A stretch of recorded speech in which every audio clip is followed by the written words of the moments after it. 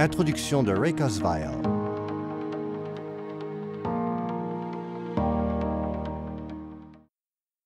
Ray Kurzweil est l'un des plus grands inventeurs, penseurs et prospectivistes du monde, avec 30 ans de prédictions exactes à son actif.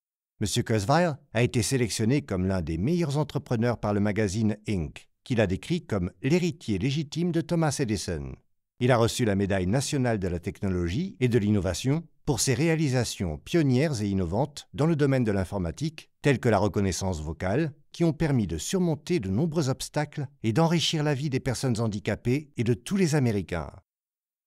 J'ai une liste très brève de gens à qui je réponds presque toujours oui lorsqu'on me fait une requête. Tony Robbins et Peter Diamandis figurent en tête de cette liste.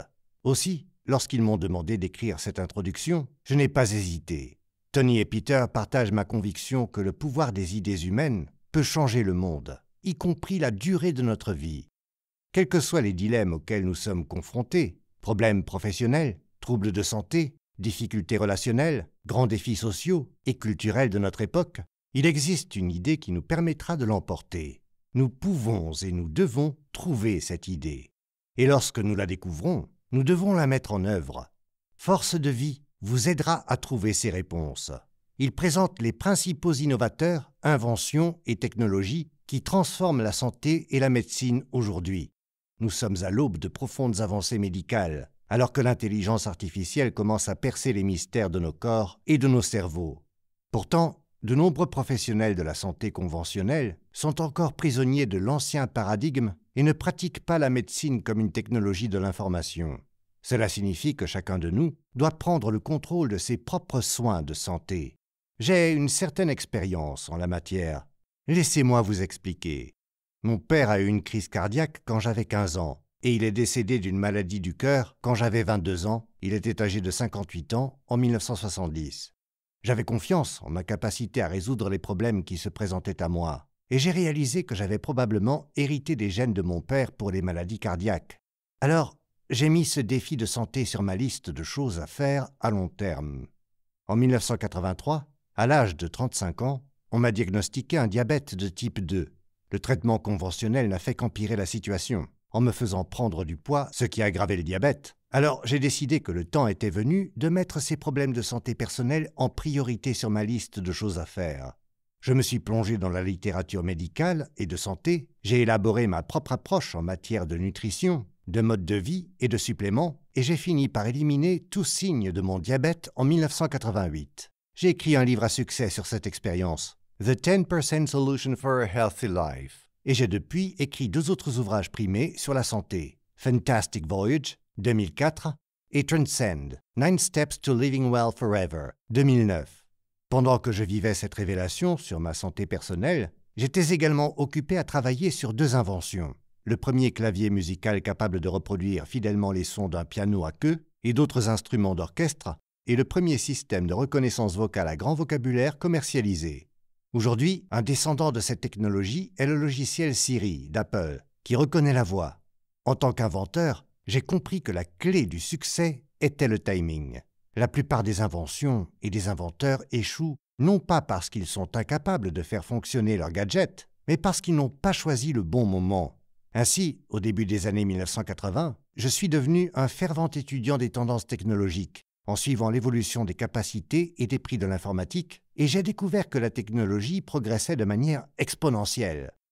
C'était une idée radicale à l'époque, car elle bouleversait notre intuition, à savoir penser de manière linéaire.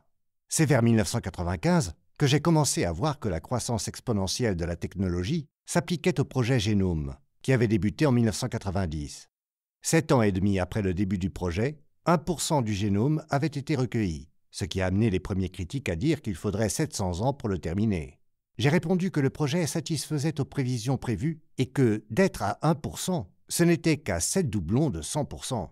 Et en effet, le projet a continué à doubler chaque année et a été achevé sept ans plus tard. Le même rythme de progrès exponentiel se poursuit depuis la fin du projet Génome. Le décodage de ce premier génome a coûté plus de 2,7 milliards de dollars. Aujourd'hui, il en coûte moins de 600 dollars. Et tous les autres aspects de ce que nous appelons la biotechnologie, comprendre le génome, le modéliser, le simuler et surtout le reprogrammer, progresse de manière exponentielle. Nous avons désormais la capacité de prévenir, de traiter et, bientôt, de guérir les maladies grâce à la biotechnologie, guidée par l'intelligence artificielle. Nous commençons à reprogrammer notre biologie de la même manière que nous reprogrammons nos ordinateurs. Prenez par exemple le vaccin turbocompressé contre la grippe, créé par des chercheurs de l'université Flinders, en Australie. Ils ont utilisé un simulateur biologique pour créer des milliards de composés chimiques, puis un autre simulateur pour voir quels composés seraient utiles pour renforcer le système immunitaire contre la maladie. Ils disposent maintenant d'un vaccin antigrippal optimal qui est testé sur des humains. Quelques rares applications cliniques actuelles de la biotechnologie vont devenir une réalité d'ici la fin des années 2020. Au cours des trois dernières années, nous avons atteint un point de bascule dans la puissance de calcul de l'intelligence artificielle IA pour simuler, tester et résoudre rapidement les problèmes biochimiques. La quantité de calcul consacrée à l'entraînement des meilleurs modèles informatiques depuis 2012 a doublé tous les trois mois et demi. Cela représente 300 000 fois plus qu'au cours des neuf dernières années. Cela a ouvert la porte à l'intelligence artificielle pour trouver des solutions médicales en une fraction du temps qu'il faut aux humains. Au bout d'un certain temps, notre confiance dans ces simulations pilotées par l'IA augmentera et nous accepterons leurs résultats comme suffisants sans avoir à passer des mois à faire des essais sur des humains. Bientôt, nous serons en mesure de simuler des milliards de solutions possibles à chaque problème de santé et de les tester entièrement en quelques heures ou quelques jours. Cela nous amènera aux années 2030 lorsque les nanorobots médicaux, des ordinateurs de la taille d'une cellule sanguine, pénétreront dans notre corps pour combattre les maladies de notre système nerveux et se rendront dans notre cerveau à travers les capillaires, où ils assureront la communication sans fil entre notre néocortex et le nuage. Les idées et les innovations ne seront plus limitées par la taille de nos crânes. Elles seront libres de se développer de manière exponentielle dans le nuage, multipliant notre intelligence par milliards. Mais je m'avance un peu. Ce que je veux dire, c'est que nous devons faire tout ce que nous pouvons aujourd'hui pour être en aussi bonne santé que possible, le plus longtemps possible, afin de bénéficier de la fusion imminente de l'IA et de la médecine.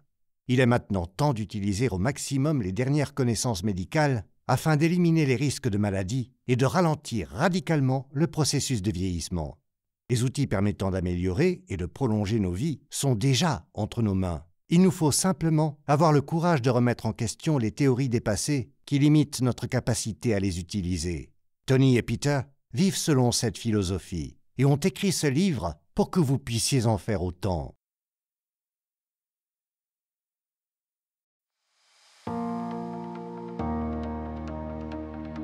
Première partie. La révolution de force de vie. Joignez-vous à moi pour répondre à certaines des questions les plus importantes de la vie et devenir le PDG de votre propre santé. Apprenez comment les cellules souches sont à l'origine de la révolution de la médecine régénérative, découvrez les derniers outils de diagnostic préventif, prédictif et personnalisé qui pourraient littéralement sauver votre vie ou celle d'un être cher. Et voyez les quatre ingrédients de vitalité que David Sinclair, docteur en génétique de Harvard, et expert en longévité, a utilisé pour inverser son âge biologique de 20 ans. Chapitre 1 Force de vie, notre plus grand cadeau. Se connecter au pouvoir suprême et vital de votre force de vie. Une personne en bonne santé a mille souhaits, mais une personne malade n'en a qu'un seul. Proverbe indien. Je marche à l'air libre sur la place Saint-Pierre, devant l'immense coupole du Vatican, émerveillé par la grandeur et la beauté de ce lieu magnifique.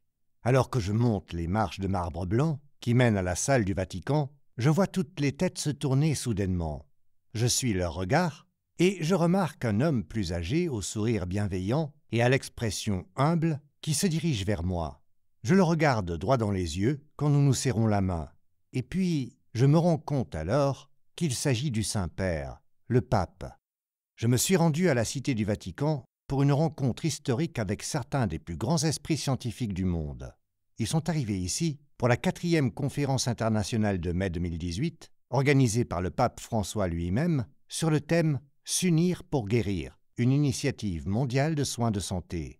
J'ai été invité à prononcer le dernier discours devant une salle remplie de pionniers de la médecine régénérative, l'un des plus grands honneurs de ma vie. Pendant trois jours envoûtants, nous écoutons un flot de brillants scientifiques, médecins et entrepreneurs du secteur de la santé. Ils parlent avec urgence et passion des solutions qu'ils mettent au point pour lutter contre les maladies mortelles et les troubles médicaux dévastateurs.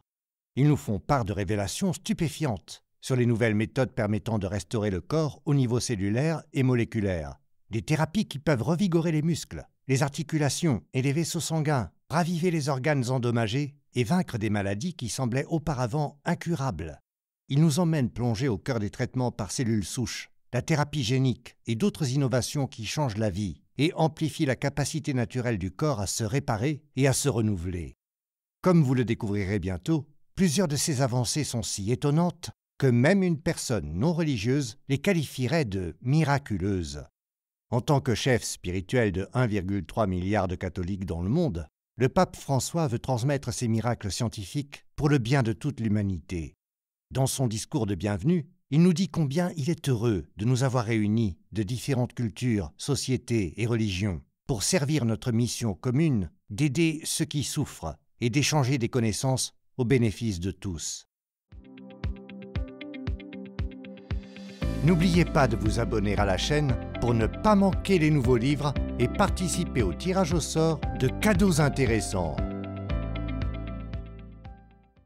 Le fait que le pape lui-même soit à l'origine de cet événement historique nous montre à quel point la médecine régénérative a progressé.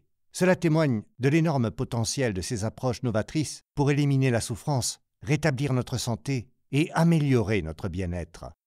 À Rome, nous étions aux premières loges pour constater l'impact de ces percées prodigieuses. Nous avons rencontré un jeune de 15 ans à qui on avait donné moins d'une chance sur trois de survivre à une leucémie et qui, plus de dix ans plus tard, était en parfaite santé grâce à un nouveau traitement à base de cellules souches. Nous avons entendu des personnes atteintes d'un cancer avancé qui avaient épuisé toutes leurs options avec la chimio et la radiothérapie et qui ont été renvoyées chez elles pour mourir.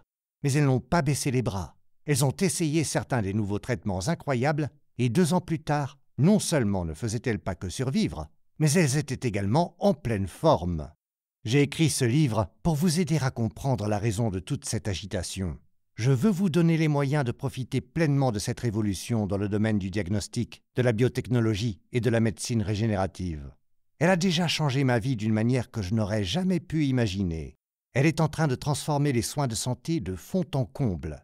Elle promet d'accroître notre force et notre vitalité, et, potentiellement, la durée de notre vie. Je veux que vous soyez parmi les premiers à bénéficier de ces découvertes scientifiques, car je sais par expérience à quel point elles peuvent améliorer la qualité de votre vie. En fait, les connaissances pratiques que je m'apprête à partager avec vous dans ce livre audio pourraient même vous sauver la vie, ou celle d'un être cher. L'objectif de ce livre est de vous donner les dernières informations sur des outils étonnants et des thérapies stupéfiantes qui sont disponibles dès maintenant, et d'autres qui pourraient bientôt être approuvées par la Food and Drug Administration FDA des États-Unis? Ces innovations vous permettront de résoudre bon nombre des problèmes de santé les plus courants avant qu'ils ne deviennent incontrôlables. Imaginez que vous puissiez déceler un cancer au stade zéro, alors qu'il est parfaitement traitable et qu'il peut être guéri. Ne serait-il pas inestimable de comprendre vos facteurs de risque génétiques et certains des outils disponibles qui pourraient réduire ou empêcher ces risques de devenir réalité? Pensez au pouvoir d'être capable de changer votre mode de vie pour éviter des problèmes dégénératifs, comme les maladies cardiaques et le diabète. Saviez-vous qu'une entreprise en est à la phase 3 des essais avec un outil qui pourrait guérir l'arthrite et vous aider à faire se reformer du cartilage frais comme un adolescent? Nombre de ces développements sont si fabuleux qu'on dirait qu'ils n'apparaîtront que dans 20 ou 30 ans. En fait, plusieurs d'entre eux se produisent déjà en ce moment même. La vitesse de la révolution des biotechnologies et des soins de santé s'accélère géométriquement pour deux raisons. La première est l'arrivée massive de capitaux. Bien que la Covid-19 ait dévasté tant de gens, elle a également servi de stimulant substantiel pour les investissements. Malgré la pandémie, plus de capital de risque a été investi en 2020 y compris un montant record de 80 milliards de dollars dans les seules entreprises en démarrage du secteur de la santé qu'à tout autre moment de l'histoire. Il y a plus de fonds que jamais pour faire progresser la recherche sur le marché des innovations médicales et biotechnologiques de plus en plus audacieuses. La deuxième raison est que la biologie est désormais une technologie de l'information, ce qui signifie que le domaine de la médecine devient meilleur et moins cher à la vitesse de l'éclair. Grâce à la technologie, chaque phase du traitement médical est réinventée. En amont, les capteurs et les réseaux bouleversent le diagnostic médical. Au milieu, la robotique et l'impression 3D réinventent les procédures médicales traditionnelles. En aval, l'intelligence artificielle, IA, la génomique, la médecine cellulaire, les thérapies géniques et l'édition de gènes transforment les médicaments eux-mêmes. Dans l'ensemble, la biotechnologie transforme aussi les soins aux malades en véritables soins de santé. Elle fait passer la médecine du système universel avec lequel nous avons tous grandi à un modèle totalement nouveau, une médecine prospective tournée vers l'avenir, proactive, personnalisée et de précision. Non seulement les soins de santé sont transformés de fond en comble par cette progression géométrique de la technologie, mais les coûts sont en chute libre, comme dans d'autres domaines de la vie quotidienne. Nous oublions combien les téléphones portables coûtaient autrefois. J'ai eu le premier modèle commercial dans les années 1980, un Motorola, que j'ai payé 3 995 dollars, soit l'équivalent de plus de 10 000 dollars aujourd'hui. Il mesurait plus de 30 cm de long et pesait près d'un kilo. La batterie se chargeait pendant 6 heures et il n'offrait que 30 minutes d'autonomie en conversation. Aujourd'hui, vous pouvez obtenir le dernier iPhone d'Apple gratuitement avec la plupart des contrats de services cellulaires. Et il a une puissance de calcul 100 fois supérieure à celle de l'ordinateur qui a emmené les astronautes d'Apollo 11 sur la Lune. Ou pensez à ceci? Votre ordinateur fonctionne avec des micropuces qui sont le cerveau de la machine. La première micropuce contenait 4000 transistors qui coûtaient 1 dollar pièce. Les micropuces d'aujourd'hui, à la pointe de la technologie, comportent plus de 6000 milliards de transistors qui ne coûtent qu'une fraction infinitésimale d'une pièce de monnaie. Elles sont 6500 fois plus rapides et coûtent 4,2 millions de fois moins cher. Notre accès à l'information, à l'éducation et au divertissement s'est également développé de manière exponentielle. Chaque jour, l'équivalent de 82 ans de nouvelles vidéos sont téléchargées sur YouTube, y compris des cours complets de presque toutes les universités du monde. Quel est le lien entre ces tendances et les soins de santé? Eh bien, considérez ceci. Il y a moins de 25 ans, il a fallu plus de 10 ans et 2,7 milliards de dollars pour lire un génome humain complet c'est-à-dire l'ensemble des instructions génétiques pour la croissance et le développement d'une personne. Aujourd'hui, cela coûte moins de 600 dollars et on le termine en une nuit, tout au plus. Nous disposons désormais de la technologie permettant de réécrire un génome pour guérir l'anémie falciforme et certaines formes de cécité congénitale.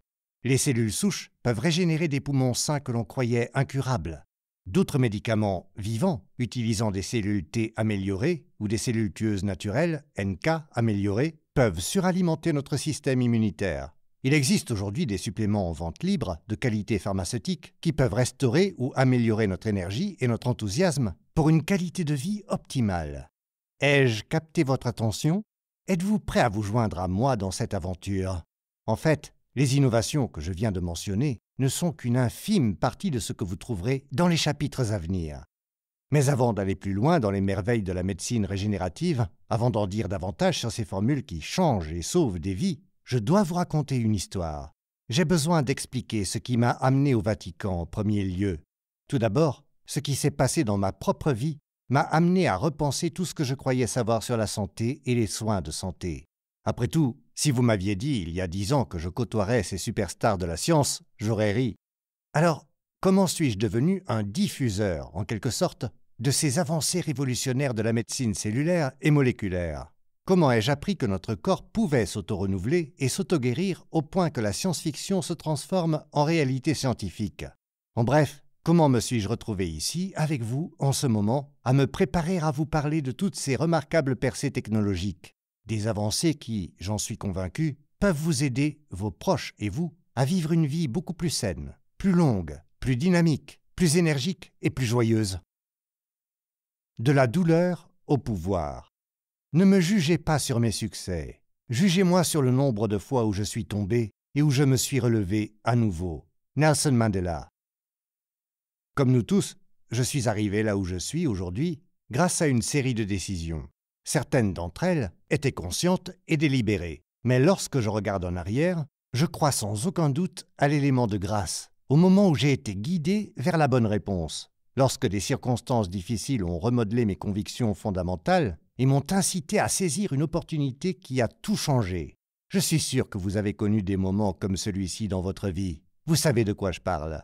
Quelque chose de terrible s'est produit, quelque chose de si douloureux que vous ne voudriez plus jamais le revivre. Ou le faire vivre à quelqu'un qui vous est cher, même si, après coup, vous vous êtes rendu compte que ce moment difficile vous a fait grandir.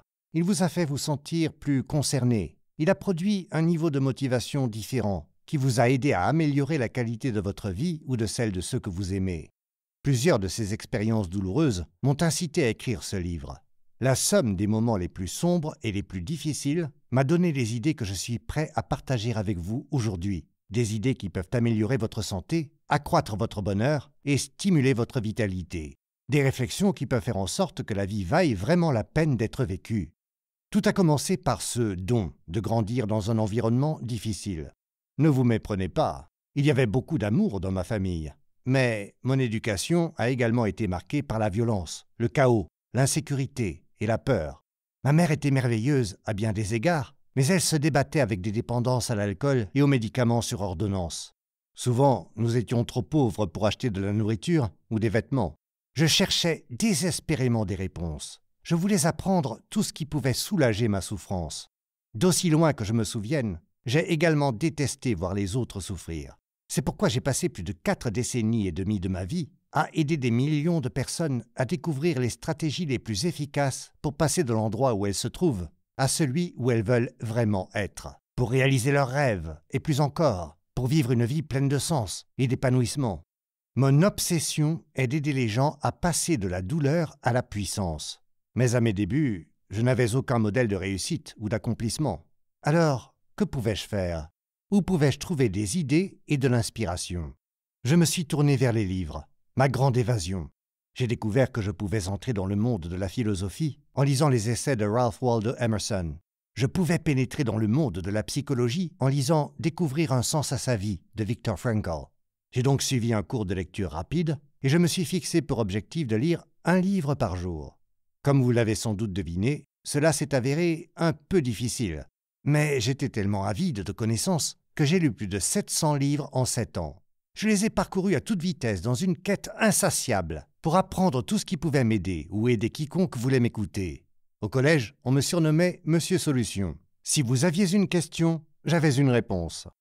Lorsque j'avais 17 ans et que je subvenais à mes besoins en travaillant comme concierge, j'ai connu mon premier moment de grâce. J'ai rencontré Jim Rohn, conférencier renommé dans le domaine du développement personnel et philosophe des affaires, Jim a été l'homme qui m'a aidé à comprendre que, pour que les choses changent, je devais changer. Pour que ma vie s'améliore, je devais m'améliorer. Me plaindre de mon passé ne me mènerait pas vers un avenir plus radieux. Déplorer mes circonstances stressantes actuelles ne m'aiderait pas non plus. Pas plus que d'espérer que ma chance tourne ou de croire en ma bonne étoile. Voici ce que Jim m'a appris. Si vous voulez réussir dans n'importe quel domaine, qu'il s'agisse de fonder une entreprise très rentable, de se constituer un portefeuille de placement à l'épreuve des tempêtes, ou de développer un mode de vie sain qui vous remplit d'une énergie sans borne, vous devez étudier les gens qui ont déjà atteint le résultat que vous recherchez. En d'autres termes, le succès laisse des indices, des traces. Si une personne a réussi à réaliser une ambition à long terme, qu'il s'agisse de perdre du poids, de faire croître une entreprise ou d'entretenir une relation extraordinaire, la chance n'a rien à voir avec cela. Cette personne fait quelque chose de différent de vous. Vous devez donc comprendre exactement ce qu'elle fait différemment et comment elle a maîtrisé précisément les compétences dont vous aurez besoin pour reproduire son succès. Jim m'a amené à me concentrer sur les quelques personnes qui agissent dans la vie et pas seulement sur celles qui parlent. J'ai commencé à apprécier la valeur des modèles, ces personnes spéciales qui peuvent vous aider à vous engager à adopter une approche éprouvée au lieu d'investir et gaspiller toute votre énergie en essais et erreurs. S'il existe déjà une voie express pavée vers le pouvoir, pourquoi ne pas la suivre? Mais rappelez-vous, j'étais Monsieur Solution. J'ai donc continué à lire avec voracité, à étudier les personnes les plus performantes dans tous les domaines que je voulais maîtriser, à appliquer leurs stratégies éprouvées. En peu de temps, j'avais rassemblé suffisamment de réponses pour devenir coach. J'ai commencé par des séances individuelles, puis j'ai organisé de petits séminaires, puis des groupes de plusieurs centaines de personnes. Peu de temps après, je travaillais avec des médaillés d'or olympiques, des gens d'affaires milliardaires et certains des plus grands artistes du monde. J'avais trouvé ma vocation. C'était une vie magnifique. J'avais l'occasion de partager les idées et les stratégies que j'avais apprises et d'aider les autres à se connecter à leur force intérieure, à leur courage, à leurs objectifs et à leur raison d'être. Et plus important encore, de découvrir comment obtenir des résultats plus rapides et plus satisfaisants. Mais la vérité, c'est que j'étais une personne différente à l'époque de celle que je suis aujourd'hui. Dans les premières années de ma carrière, je ne savais pas encore comment gérer la partie craintive et embêtante de l'ancien cerveau de combat ou de fuite qui existe en chacun de nous.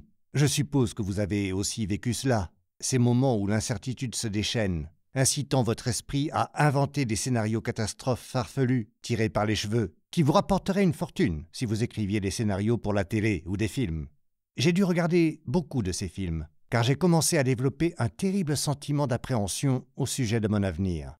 Rationnellement, je pouvais voir que ce n'était pas un hasard si ma carrière avait pris son envol.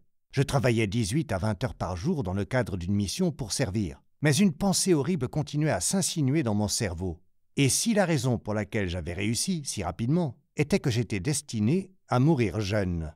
Une fois que je me suis permis de m'attarder sur ces peurs irrationnelles, mon esprit a continué à en créer d'autres. Comme je l'ai enseigné aux gens pendant des années, là où va la concentration, l'énergie circule. Vous avez donc intérêt à vous concentrer et à mieux diriger votre attention. Mais cette appréhension était insensée. Il ne s'agissait pas seulement d'une forme d'anxiété à propos d'une mort prématurée. Je craignais que ma fin tragique soit lente et agonisante. Au lieu d'être heurté par un camion et de mourir instantanément, je m'imaginais pourrir de douleur pendant des années avec un cancer. J'en faisais même des cauchemars. Jusqu'au jour où mes cauchemars se sont concrétisés et qu'un diagnostic de cancer a réellement bouleversé mon univers. Mais ce n'est pas moi qui ai reçu le diagnostic. Ma petite amie de l'époque, Lise, a fait irruption dans mon appartement un jour en sanglotant de façon incontrôlable. Ma mère a un cancer, m'a-t-elle dit. Il pense qu'il lui reste neuf semaines à vivre.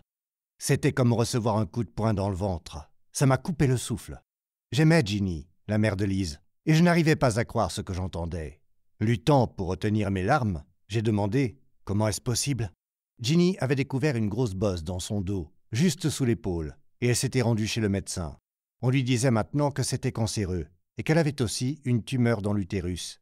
De plus, ses médecins avaient décidé que cela ne valait même pas la peine de la traiter, car son cancer avait progressé au-delà du point de non-retour. Tout ce qu'elle pouvait faire était de mettre ses affaires en ordre et de faire face courageusement à la perspective de mourir dans la quarantaine. Cette terrible nouvelle m'a profondément ébranlé. Mais j'étais quelqu'un qui ne pouvait jamais accepter la douleur, la souffrance ou la défaite sans chercher un dénouement moins fatal. Je savais que des dizaines de milliers de personnes avaient vaincu le cancer après avoir appris qu'il était incurable et que plusieurs d'entre elles avaient suivi des solutions de rechange non traditionnelles à la radiothérapie ou à la chimiothérapie. Et si leur succès avait laissé des indices qui pourraient aider Ginny? Alors, je me suis mis au travail en lisant tout ce que je pouvais sur le cancer. Je suis tombé sur un petit livre écrit par un orthodontiste du Kansas qui avait vaincu un cancer du pancréas et qui avait mis à son crédit un programme nutritionnel qui avait apparemment détoxifié son système. En même temps, il a revitalisé son corps avec des enzymes pancréatiques concentrées. C'était une approche controversée, et je ne la recommanderais pas aujourd'hui, car il existe maintenant de meilleures options. Mais à l'époque, Ginny n'avait rien à perdre, et aucun choix prometteur. Elle a donc adopté cette approche expérimentale avec la conviction inébranlable qu'elle la sauverait. Le plus incroyable, c'est qu'en quelques jours seulement, elle s'est mise à se sentir mieux. Après quelques semaines, alors que son corps commençait à se purifier, elle se sentait encore mieux. Après deux mois et demi, le médecin de Ginny a été déstabilisé par son amélioration radicale. Il finit par la persuader de subir une chirurgie exploratoire pour qu'il puisse voir ce qui se passait. Lorsqu'ils l'ont ouverte, ils ont découvert qu'une tumeur de la taille d'un poing avait été réduite à la taille d'un ongle. Le docteur était stupéfait. Ginny lui a expliqué ce qu'elle avait fait pour se guérir, mais il n'avait aucune envie de l'entendre. Il ne pouvait pas croire que son régime alimentaire et son état d'esprit aient pu avoir un effet aussi profond.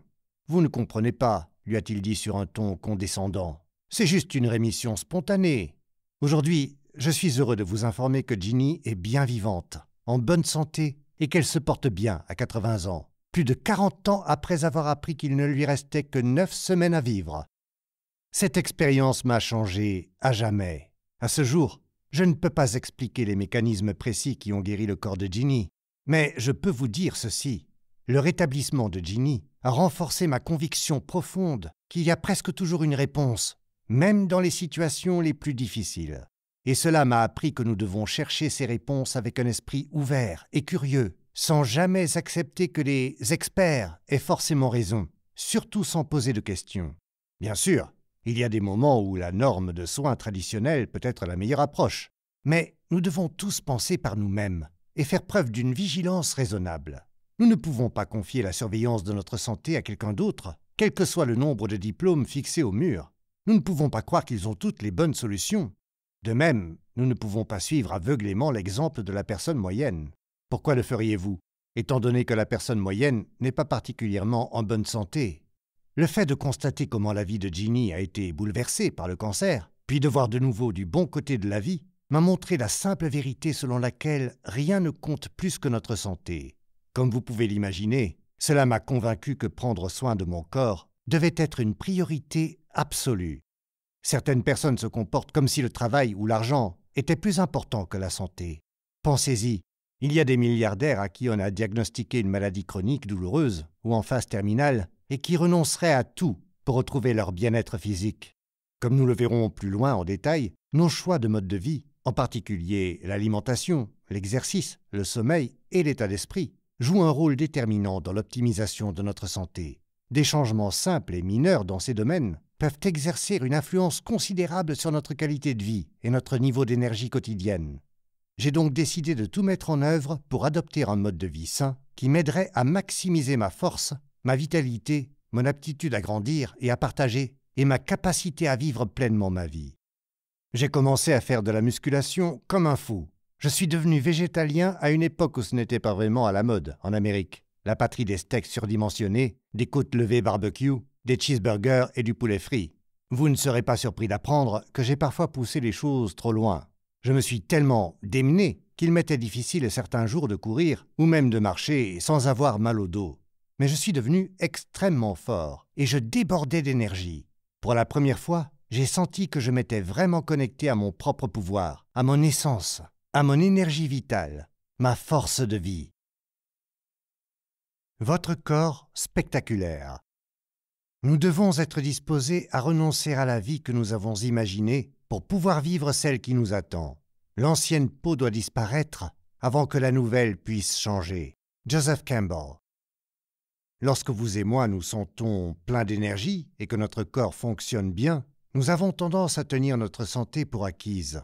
Mais si vous vous arrêtez un instant pour y réfléchir, le corps humain est la machine la plus complexe, la plus sophistiquée et la plus impressionnante jamais inventée. Il suffit de considérer les faits suivants. Votre corps miraculeux est composé d'environ 30 000 milliards de cellules humaines et en produit 330 milliards de nouvelles chaque jour. Les cellules humaines sont plus nombreuses que les cellules bactériennes dans notre intestin. Combien y en a-t-il? Environ 39 000 milliards. On estime que votre cerveau contient environ 100 milliards de neurones, soit le même nombre d'étoiles que la Voie lactée. Qu'en est-il de l'œil humain? Eh bien, il contient plus de 2 millions de pièces mobiles. Les os de nos cuisses sont plus solides que du béton. Votre peau perd environ 40 000 cellules par minute, soit 50 millions par jour, et les remplace par des cellules saines sans que vous ayez à faire quoi que ce soit. Les globules rouges peuvent parcourir tout notre corps en moins de 20 secondes. Disposés bout à bout, vos vaisseaux sanguins s'étendraient sur plus de 100 000 kilomètres, soit plus de deux fois le tour de l'équateur de la Terre. L'information passe à travers les synapses de votre cerveau à 430 km par heure, plus rapidement que la vitesse record du circuit automobile l'Indianapolis Motor Speedway de l'Indiana. De plus, nous avons reçu tout ce matériel extraordinaire gratuitement, ce qui pourrait expliquer pourquoi beaucoup de gens n'en prennent pas si bien soin. Mais j'étais déterminé à tirer le meilleur parti de ce qui m'avait été donné. Je devais donner le meilleur de moi-même. Ma mission de conduire les autres vers de nouveaux sommets l'exigeait. Au fur et à mesure, j'ai élargi mon champ d'action à travers le monde entier. Je voyage sans cesse. Au cours d'une année typique, je visite plus de 100 villes dans pas moins de 16 pays différents. Sur scène, je dois retenir l'attention d'un public de 10 000 à 15 000 personnes, voire 35 000 dans un stade, jour après jour pendant 4 à 7 jours pour chacun de mes programmes. En dehors de la scène, j'entraîne des champions de classe mondiale comme Serena Williams et Conor McGregor, et des équipes comme les Warriors de Golden State, champions de la NBA, et les Capitals de Washington, les vainqueurs de la Coupe Stanley de la NHL. Ces athlètes phénoménaux attendent de moi, comme d'eux-mêmes, que je travaille à la limite de ce qui est humainement possible. Je ne suis pas sûr qu'il m'aurait écouté si je m'étais affalé sur le canapé toute la journée, m'empiffrant de biscuits et de chips. J'ai donc transformé mon corps en un véhicule de haute performance pour une énergie illimitée. Si vous voulez aider les gens à faire d'énormes progrès, la première chose dont vous avez besoin est de l'énergie, et une extraordinaire quantité. Personne ne peut constamment prendre les mesures nécessaires pour dépasser ses limites ou ses peurs sans un niveau suprême de force et de vitalité. Mon travail consiste à faire en sorte que cela se produise en plongeant littéralement dans la foule, en sprintant dans les escaliers du stade et en maintenant ces milliers de personnes engagées 12 à 14 heures par jour, jour après jour, nuit après nuit. Et c'est en grande partie l'énergie que nous générons ensemble. Si vous avez déjà assisté à l'un de mes événements, vous savez ce que je veux dire. C'est une énergie exaltée qui explose en vous et autour de vous, et qui vibre et palpite dans votre esprit et votre corps. C'est ce sentiment d'être passionné, où vous savez que vous pouvez tout rendre possible. Cela vous propulse dans un état d'esprit maximal, de pointe, dans un endroit où vous êtes libéré pour vivre, aimer et performer à un tout autre niveau. C'est ce qui crée la transformation. Pour faire tout cela, j'impose des exigences insensées à mon corps pour générer l'énergie nécessaire à ces profonds changements. En fait, il y a quelques années, une organisation appelée Applied Science and Performance Institute, Institut des sciences appliquées et de la performance, a entrepris de mesurer les performances de mon corps pendant ces événements de haute intensité. Ils m'ont attaché un appareil valant 65 000 dollars et ont tout suivi, de la variabilité de mon rythme cardiaque à la quantité d'acide lactique que j'accumulais. Ils ont testé mon sang et ma salive toutes les heures pour évaluer mes niveaux hormonaux tout au long de la journée. Après 9 heures, l'appareil est tombé en panne mais j'ai continué pendant trois heures de plus. Ils ne pouvaient pas croire ce qu'ils voyaient. Alors ils m'ont testé lors de quatre événements distincts, et chaque fois, ils ont obtenu les mêmes résultats. Il s'est avéré que je sautais plus de mille fois par jour. C'était important, comme les chercheurs me l'ont expliqué. Je pèse 128 kilos, et chaque atterrissage multipliait par quatre la force de mon poids corporel. Cela représente plus de 455 kilos de stress pour chaque saut, mille fois par jour pour plus d'un million de kilos de stress dans la journée. Je brûlais 11 300 calories par jour, ce qui équivaut à jouer deux matchs et demi de basketball de la NBA en une journée, ou de courir trois marathons. Et puis, je recommençais le lendemain, et le suivant, et le suivant.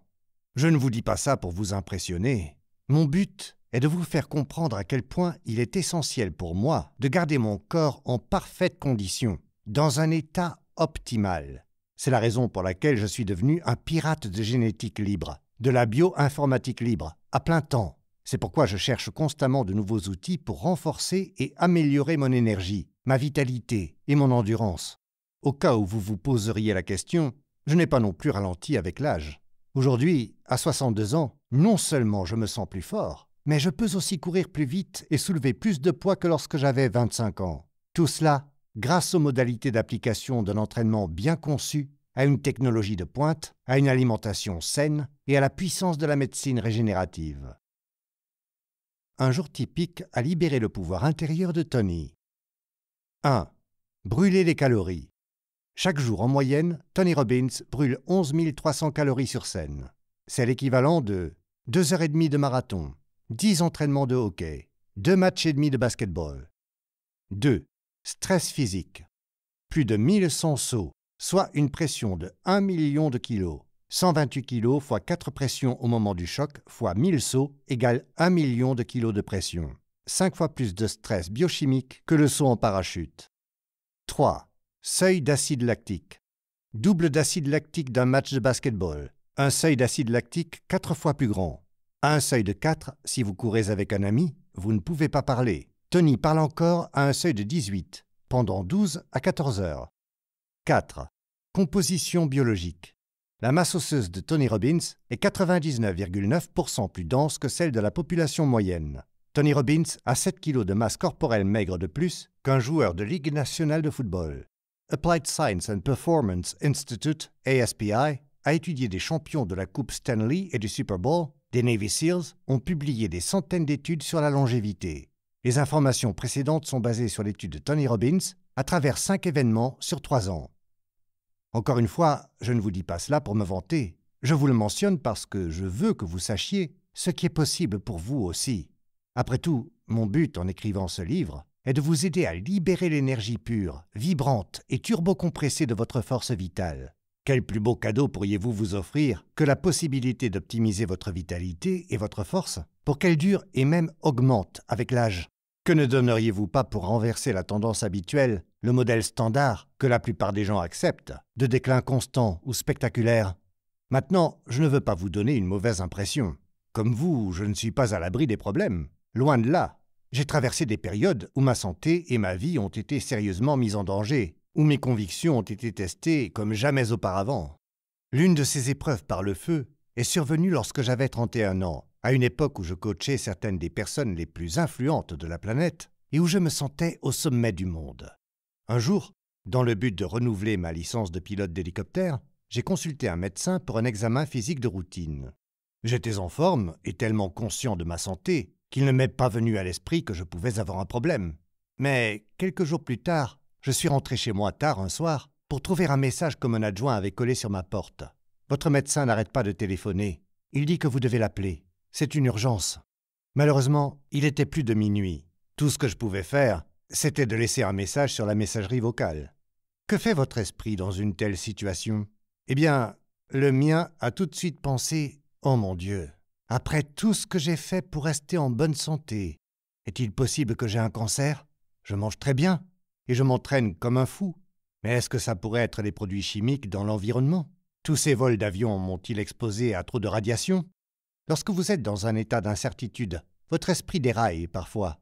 J'ai décidé de faire taire ces pensées, de les laisser aller et de réagir à la réalité telle qu'elle se présentait. À cette étape de ma vie, j'avais acquis la conviction profonde de l'importance d'un esprit courageux. Comme le dit le proverbe, le lâche meurt mille fois avant sa mort. Le brave ne meurt qu'une fois. Je ferai face à n'importe quelle situation le matin. Le lendemain, rempli d'un sentiment d'angoisse que je n'avais pas ressenti depuis des années, j'ai téléphoné au médecin pour savoir ce qui n'allait pas. Vous devez être opéré, m'a-t-il dit. Vous avez une tumeur au cerveau. J'étais choqué et déconcerté. Comment pouvait-il savoir cela à partir d'un examen médical de routine? Le médecin, un type bourru qui aurait été recalé de l'école de charme, m'a dit qu'il avait effectué des tests sanguins supplémentaires parce qu'il pensait que mon corps contenait des quantités anormales d'hormones de croissance. Étant donné que je mesurais 1,55 m en deuxième année de lycée, j'ai grandi de 26 cm en un an, et que je mesure maintenant 2 mètres, et que je chausse du 49, il n'a pas fallu Sherlock Holmes pour faire cette déduction. Mais ensuite, il est allé encore plus loin. Il soupçonnait que la poussée de croissance que j'avais connue à l'adolescence, lorsque j'avais gagné 26 cm en un an, était le résultat d'une tumeur de l'hypophyse, à la base de mon cerveau. Il m'a dit que c'était une bombe à retardement dans ma tête. Je devais m'envoler le lendemain vers le sud de la France pour animer l'un de mes séminaires Rendez-vous avec le destin. Mais le médecin voulait que je renonce à cet événement et que je subisse une intervention chirurgicale d'urgence à la place. De toute évidence, il ne me connaissait manifestement pas bien, je n'allais pas accepter le premier diagnostic et prendre rapidement une décision par peur, tout en annulant simultanément un événement à la dernière minute et en laissant des milliers de personnes en plan. Je me suis donc rendu en France, j'ai donné le séminaire, puis j'ai passé quelques jours à essayer de me détendre à Portofino, en Italie. Cela n'a pas marché. Mes vieilles peurs de la maladie et de la mortalité revenaient sans cesse m'envahir. Était-ce finalement le cas? Étais-je condamné à mourir jeune? Après tout Pour surmonter mes peurs, j'ai passé des années à entraîner et à conditionner mon esprit et mon corps pour acquérir un sentiment constant de force et de certitude. C'est la seule façon de se préparer à passer à l'action. Or, tout à coup, j'ai été renvoyé dans la terrifiante insécurité de mon enfance, où rien ne semblait stable. Je n'avais aucune idée si j'allais vivre ou mourir, mais quelques jours plus tard, j'ai décidé que je devais faire face à la situation. J'ai donc pris l'avion pour rentrer chez moi et passer un scanner cérébral. Je me souviens d'être sorti de l'appareil d'IRM, d'avoir regardé l'expression sombre du visage du technicien de laboratoire et d'avoir su à ce moment-là qu'il avait vu quelque chose de sinistre. Le médecin a examiné la radiographie et a confirmé que j'avais une tumeur de l'hypophyse. Elle avait gonflé de façon incontrôlée, poussant d'énormes quantités d'hormones de croissance dans mon corps et créant une condition appelée gigantisme. La tumeur a diminué un peu d'elle-même et le médecin n'a pas pu expliquer comment ni pourquoi cela s'était produit mais elle était encore suffisamment présente pour qu'il me demande instamment de me faire opérer immédiatement. Sinon, a-t-il prévenu, la tumeur pourrait générer une surproduction désastreuse d'hormones et déclencher une insuffisance cardiaque ou toute autre issue fatale. Il n'y avait qu'un problème avec le plan du docteur. En supposant que je survive à l'opération, il y avait encore une forte probabilité qu'elle détruise mon système endocrinien, me privant à jamais de l'énergie qui me permettait d'accomplir le travail de ma vie. Pour moi, c'était tout à fait inacceptable. À tout le moins, j'aurais besoin d'un deuxième avis avant même de pouvoir envisager un tel risque. Mais ce médecin faisait partie de ces spécialistes qui sont exaspérés par toute contestation de leur autorité. Il a donc refusé de recommander un autre expert. Comme je l'avais appris du triomphe de Ginny sur le cancer, personne n'a le monopole de la sagesse médicale. Je ne pouvais pas accepter de placer ma vie entre les mains d'un seul médecin sans étudier mes autres options. J'ai trouvé un endocrinologue de renommée mondiale à Boston qui a scanné mon cerveau à nouveau. Je n'oublierai jamais sa gentillesse et sa compassion, le contraire du premier médecin. Il m'a assuré que la chirurgie serait beaucoup trop risquée et que je n'en avais pas besoin. À la place, il m'a suggéré de me rendre en Suisse deux fois par an pour des injections d'un médicament expérimental qui empêcherait ma tumeur de se développer et réduirait le risque de problèmes cardiaques. Quand j'ai demandé quels étaient ses effets secondaires, il a répondu Pour être honnête, il faut escompter une grande perte d'énergie. Et j'ai dit Je ne peux tout simplement pas faire ça. Je ne peux pas remplir la mission de ma vie tout en ayant très peu d'énergie. Et j'ai rétorqué L'autre médecin m'a avisé que je devais subir une intervention chirurgicale et vous me dites maintenant que je dois prendre des médicaments. Et ce bel homme a dit avec un sourire et une étincelle dans les yeux Tony, vous avez raison. Le boucher veut faire de la boucherie, le boulanger veut faire de la boulangerie, le chirurgien veut couper en chirurgie. Et moi, je suis endocrinologue. Donc, je veux vous donner un médicament. Mais voilà la question. Nous aurons simplement plus de certitude si vous prenez le médicament. Et j'ai répondu Mais nous ne pouvons pas non plus être certains de tous les effets secondaires de ce médicament. Il n'y a aucun signe de problème cardiaque actuel, et j'ai manifestement ce problème depuis mon adolescence. Et si je ne faisais rien? Le médecin m'a répliqué Eh bien, si vous vous faites tester régulièrement, je suppose que c'est une possibilité.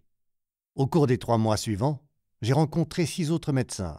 L'un d'eux a présenté des arguments convaincants pour ne rien faire, si ce n'est de me soumettre à des examens réguliers pour m'assurer que mon état ne s'était pas détérioré. Tout en reconnaissant que mon sang contenait d'énormes quantités d'hormones de croissance, il a souligné une chose que tous les autres médecins semblaient avoir négligée. Mon état n'avait pas causé d'effets négatifs. Au contraire, a-t-il dit, mon réservoir d'hormones de croissance a peut-être renforcé la capacité de mon corps à récupérer du stress extraordinaire que mon travail lui imposait. Vous avez un grand cadeau ici, m'a dit le médecin. Je connais des culturistes qui devraient dépenser 1200 dollars par mois pour avoir ce que vous obtenez gratuitement. Finalement, j'ai suivi son conseil et j'ai décidé de ne pas recourir à la chirurgie et aux médicaments. Comment cela s'est-il passé? Ma décision m'a peut-être sauvé la vie. Six mois plus tard, la Food and Drug Administration américaine a interdit l'utilisation du médicament qui m'avait été recommandé, après que des études ont révélé qu'il provoquait le cancer.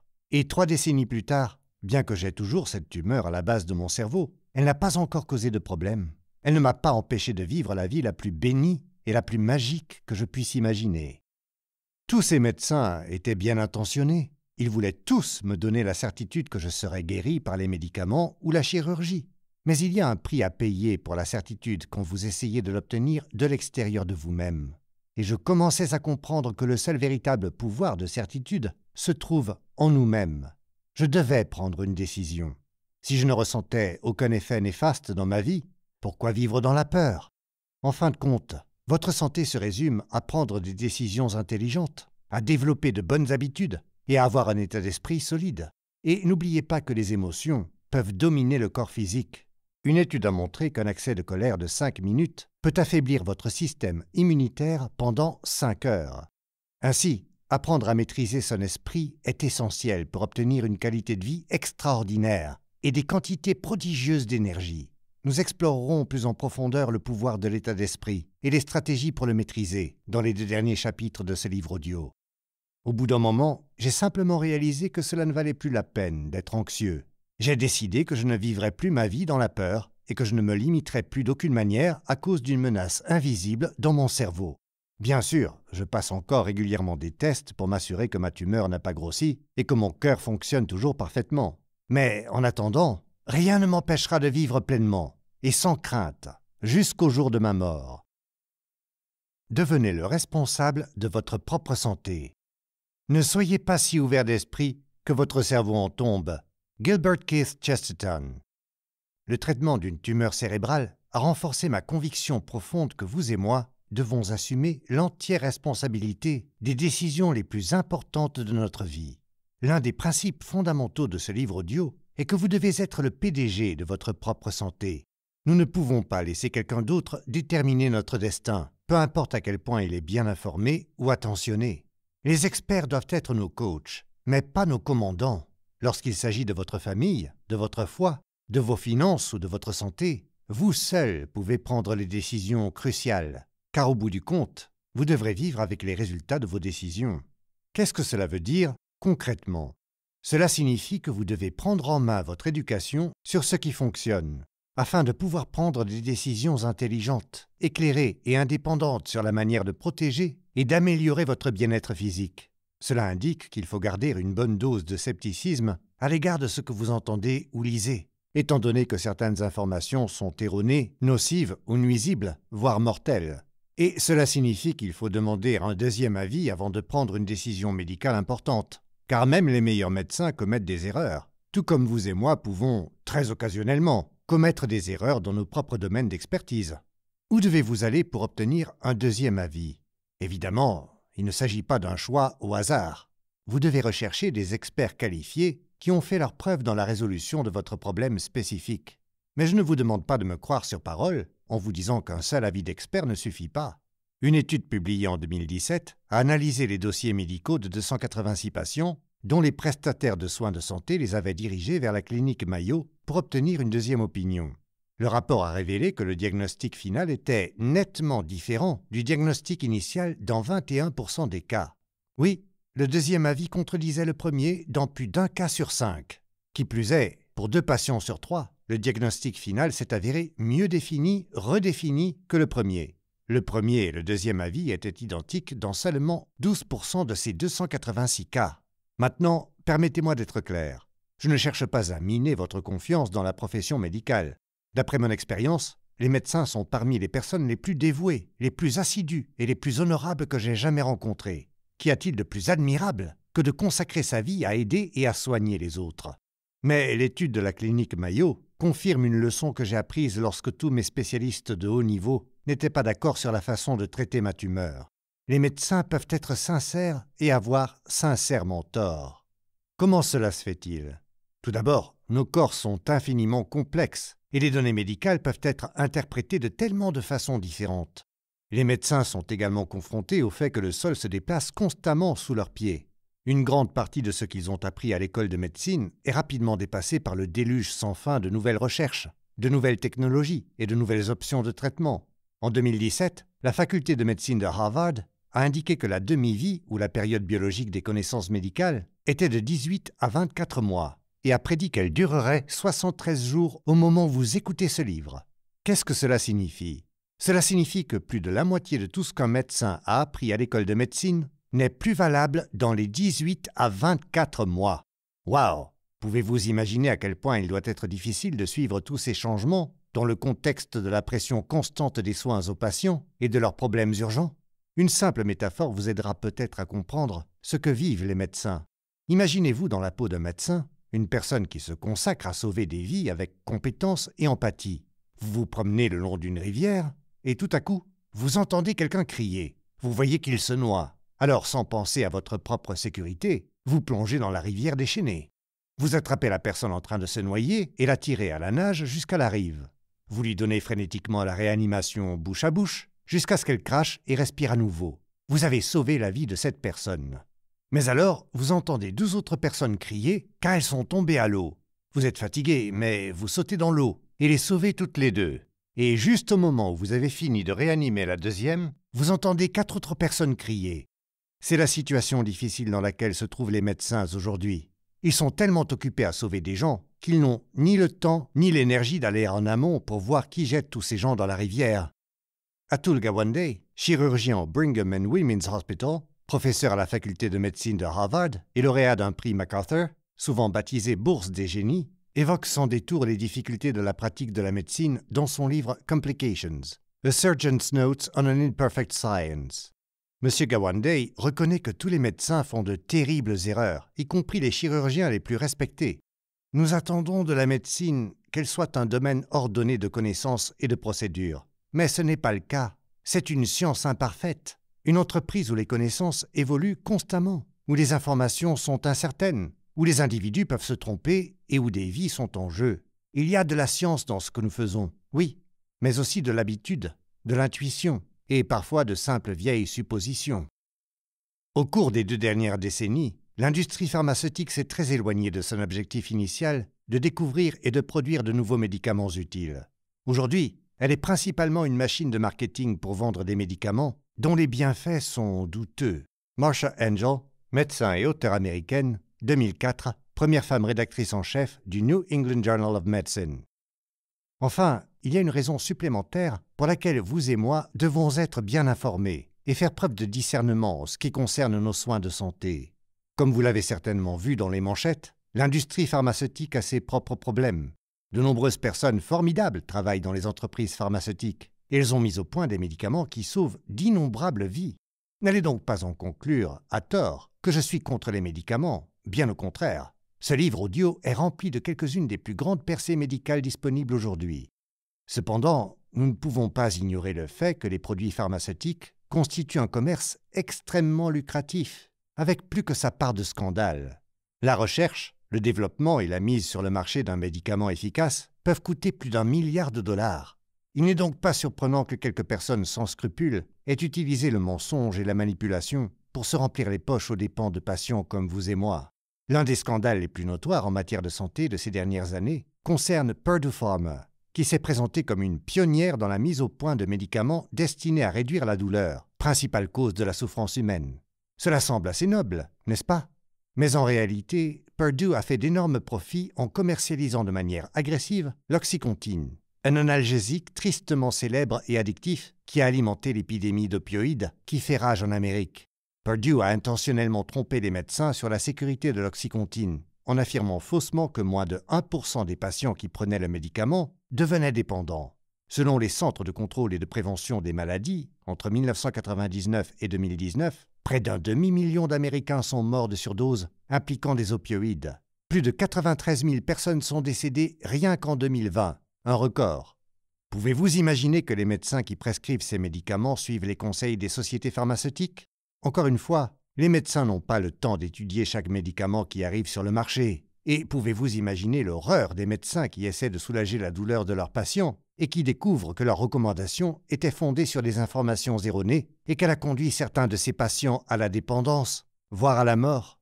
Entre-temps, Purdue a récemment accepté un règlement de 8,3 milliards de dollars pour résoudre une série d'accusations criminelles et civiles une infime fraction du coût de l'épidémie d'opioïdes de plusieurs trillions de dollars pour l'économie américaine, sans parler des vies qui ont été détruites.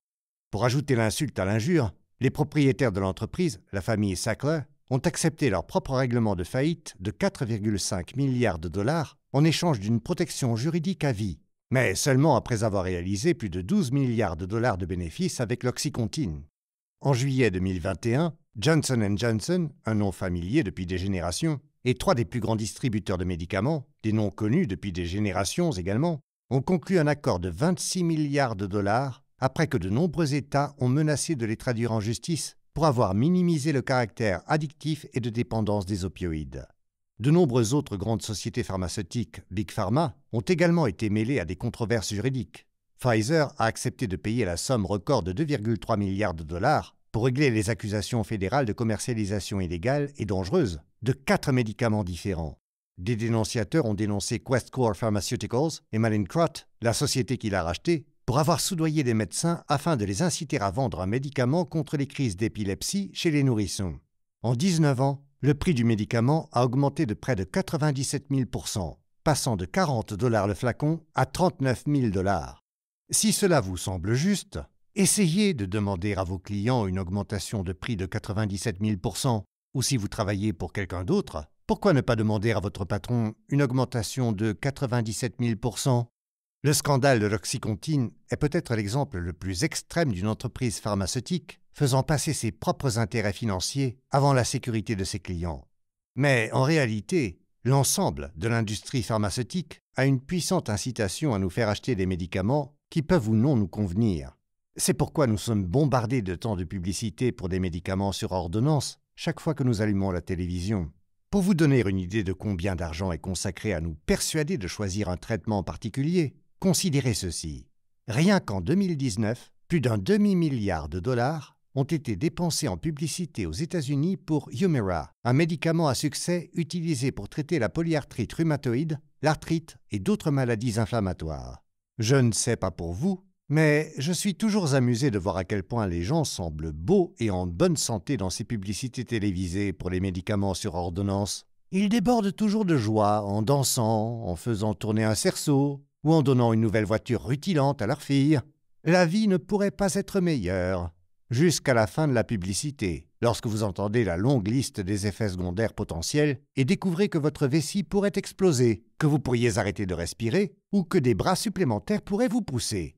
Je ne veux pas paraître cynique, mais les enjeux sont si élevés en ce qui concerne notre santé que nous ne pouvons pas nous permettre d'être des consommateurs naïfs qui acceptent sans poser de questions tout ce qui nous est vendu ou recommandé. Cela reviendrait à acheter une maison sur la base de la liste poétique d'un courtier immobilier, sans la visiter ou payer un inspecteur pour la vérifier. Nous devons être particulièrement prudents avant de prendre des mesures extrêmes, qu'il s'agisse d'un médicament aux effets secondaires potentiellement graves ou d'une opération à haut risque. Dans certains cas, il vaut la peine d'envisager des options moins agressives ou moins invasives. Comme vous le verrez bientôt, l'une des vertus de la médecine régénérative est qu'elle est fondamentalement différente des thérapies conventionnelles brutales auxquelles la plupart des gens ont recours. La médecine régénérative ne se contente pas de traiter vos symptômes. Son objectif est d'inverser ou de guérir le problème sous-jacent. Je n'aurais peut-être jamais entendu parler de la puissance de la médecine de précision ou des nombreuses avancées régénératrices au cœur de ce livre sans un terrible accident qui a menacé de faire dérailler tout mon mode de vie lorsque j'avais 54 ans. Je dois admettre qu'à l'époque, je me comportais plutôt comme un adolescent de 14 ans, dévalant les pentes d'une montagne à Sun Valley, dans l'Idaho, sur mon snowboard. Ça a mal tourné et je suis tombé avec une force qui m'a détruit l'épaule. Il s'est avéré que je m'étais déchiré la coiffe des rotateurs, l'ensemble des tendons et des muscles qui relient le haut du bras à l'épaule. Au fil des ans, j'ai dû faire face à de nombreuses douleurs. Mais là, la douleur était si brutale que je ne savais pas quoi faire de moi. Sur une échelle de 1 à 10, je donnerais à cette douleur une note de 9,9. Mes nerfs étaient à vif, et respirer profondément me faisait même mal. Au cours des deux nuits suivantes, j'ai dormi deux heures, tout au plus. J'ai rencontré trois spécialistes qui m'ont tous conseillé la chirurgie. Mais le processus de récupération serait lent et ardu, et je pourrais être mis à l'écart pendant six mois, voire plus, si les choses ne se passaient pas bien. De plus, le pronostic à long terme n'était pas très bon. Je pouvais me faire opérer et m'engager dans des mois de rééducation intensive pour finalement voir mon épaule affaiblie se déchirer à nouveau. Les médecins m'ont également prévenu que mon bras pourrait se bloquer, au point que je ne pourrais plus le soulever au-dessus de mon épaule. Comment pourrais-je me laisser aller sur scène et énergiser des dizaines de milliers de personnes avec mon bras inerte à mes côtés? Je serais comme un boxeur avec un bras attaché dans le dos. Il devait y avoir une meilleure réponse, si seulement je cherchais suffisamment pour la trouver. Je suis donc passé à la vitesse supérieure, en recherchant toutes les solutions possibles et imaginables. Quelques jours plus tard, j'ai rencontré un chirurgien orthopédiste qui m'a dit que la chirurgie n'était pas la meilleure approche et qu'il existait un appareil qui pouvait soulager ma douleur sur le champ et potentiellement m'aider à guérir. En moins de 24 heures, quelqu'un m'a traité avec une telle machine. Il a réduit ma douleur de 9,9 à environ 5, ce qui signifie que je pouvais du moins penser de manière cohérente et enfin dormir à nouveau. Dans notre chapitre intitulé Vivre sans douleur, je vous en dirai plus sur cette technologie de fréquence magnétique électronique pulsée, FMEP. De nombreuses études ont confirmé qu'elle peut accélérer la guérison des os jusqu'à 50%. Je suis convaincu que si vous êtes blessé, que vous souffrez beaucoup, que vous ressentez une douleur intense et que vous avez besoin d'un soulagement puissant, la FMEP pourrait être une excellente solution pour vous aussi. Mais même si ma douleur était désormais plus facile à gérer, je n'étais toujours pas redevenu moi-même. Il m'arrivait de me donner énergiquement sur scène et de perdre soudainement toute sensation dans mon bras, où j'étais au beau milieu de la journée et tout me semblait bien, quand la douleur me frappait soudainement comme un marteau-piqueur. J'existais, mais je ne vivais pas, et j'étais loin de me douter que ma crise de santé était sur le point de prendre une autre tournure et d'empirer. J'ai rencontré un autre médecin qui m'a examiné et a rendu un verdict dévastateur. Il m'a regardé dans les yeux et a déclaré La vie telle que vous la connaissez est terminée. Il m'a montré une image de ma colonne vertébrale et m'a expliqué Vous avez une sténose spinale extrême, c'est-à-dire un rétrécissement anormal de l'espace à l'intérieur de mon canal rachidien. Ce n'était pas une surprise totale, puisque j'avais de graves douleurs dorsales depuis près de dix ans. Mais le médecin m'a prévenu que ma situation était si grave qu'un nouveau coup dur pouvait me rendre quadriplégique. Une nouvelle chute de snowboard ou un saut lourd sur scène pourrait être catastrophique. Même une course à pied serait hors de question. Après des décennies d'exigences physiques incessantes, il semblait que mon corps commençait à s'effondrer. Ma vie avait toujours été rythmée par mon énergie et mon esprit, par ma volonté constante de servir les gens et de performer pour eux au summum de mes capacités. Mais maintenant, il semblait que tout l'édifice pourrait s'écrouler à tout moment. Je ne sais pas si vous avez déjà vécu une expérience de ce genre, un moment où votre vitalité était compromise, quand votre énergie a commencé à s'estomper et que vous vous êtes mise à envisager la possibilité d'un déclin constant. Si c'est le cas, vous pouvez imaginer l'incertitude et la peur que j'ai ressenties. Mais je n'étais pas sur le point de capituler et d'accepter que les dommages étaient irréversibles. Je refusais de croire que mon destin était décidé. J'ai donc fait ce que j'ai toujours fait, j'ai continué à chercher des réponses. Le miracle du renouvellement. Nous devons toujours nous changer, nous transformer, nous renouveler et nous rajeunir. Dans le cas contraire, nous nous durcissons et nous devenons négatifs. Johann Wolfgang von Goethe. Comme par hasard, je me suis tourné vers l'une des personnes les plus intelligentes, les plus férues de technologie et les plus avant-gardistes que je connaisse, mon cher ami Peter Diamandis. En grandissant, Peter rêvait de devenir astronaute, mais ses parents voulaient qu'il soit médecin. Ainsi, après avoir obtenu un double diplôme en génétique moléculaire et en ingénierie aérospatiale au MIT, il a reçu son doctorat en médecine de la Harvard Medical School. En fin de compte, cependant, Peter a tracé sa propre voie, développant une expertise d'une ampleur et d'une profondeur éblouissantes. Parmi ses nombreuses réalisations, il est le fondateur et le président exécutif de la fondation X-Prize, qui crée des concours incitant les innovateurs à réaliser des percées dans les domaines de la santé, de l'intelligence artificielle, de l'espace et de l'environnement. Son premier X-Prize, le Ansari X-Prize, a permis de réduire le risque et le coût des voyages dans l'espace en encourageant la création d'un vaisseau spatial fiable, réutilisable et financé par des fonds privés qui a rendu les voyages spatiaux privés viables. La technologie a ensuite été autorisée sous licence par Sir Richard Branson pour fonder Virgin Galactic, et donné naissance à une nouvelle industrie. Il a ensuite fondé ou cofondé 24 autres entreprises. Il a cofondé un fonds de capital risque qui investit dans des entreprises à l'avant-garde de la santé et de la longévité. Il a également écrit trois livres à succès et a été désigné comme l'un des 50 plus grands leaders du monde par le magazine Fortune. Quel est le fil conducteur des passions de Peter? Sa conviction profonde est que nous pouvons exploiter la technologie pour bâtir un monde meilleur, plus sain et plus prospère. Compte tenu de l'expérience unique de mon ami, personne n'était mieux placé pour me guider vers les solutions médicales les plus avancées, les technologies de pointe qui ne sont accessibles qu'à un cercle relativement restreint de personnes réellement informées. Peter se trouve à l'épicentre de ce cercle. Ce n'est pas seulement parce qu'il est un génie qui comprend parfaitement les dernières avancées technologiques sur le bout des doigts. Bon nombre des plus grands innovateurs du monde sont attirés par sa chaleur, son enthousiasme et son optimisme. Lorsque je lui ai demandé conseil, Peter m'a déconseillé de me précipiter pour subir une intervention chirurgicale, même si de nombreux médecins l'avaient présenté comme ma seule option viable. Il a plutôt suggéré une thérapie par cellules souches. Plus précisément, il m'a recommandé de parler avec son cher ami, le docteur Bob Hariri.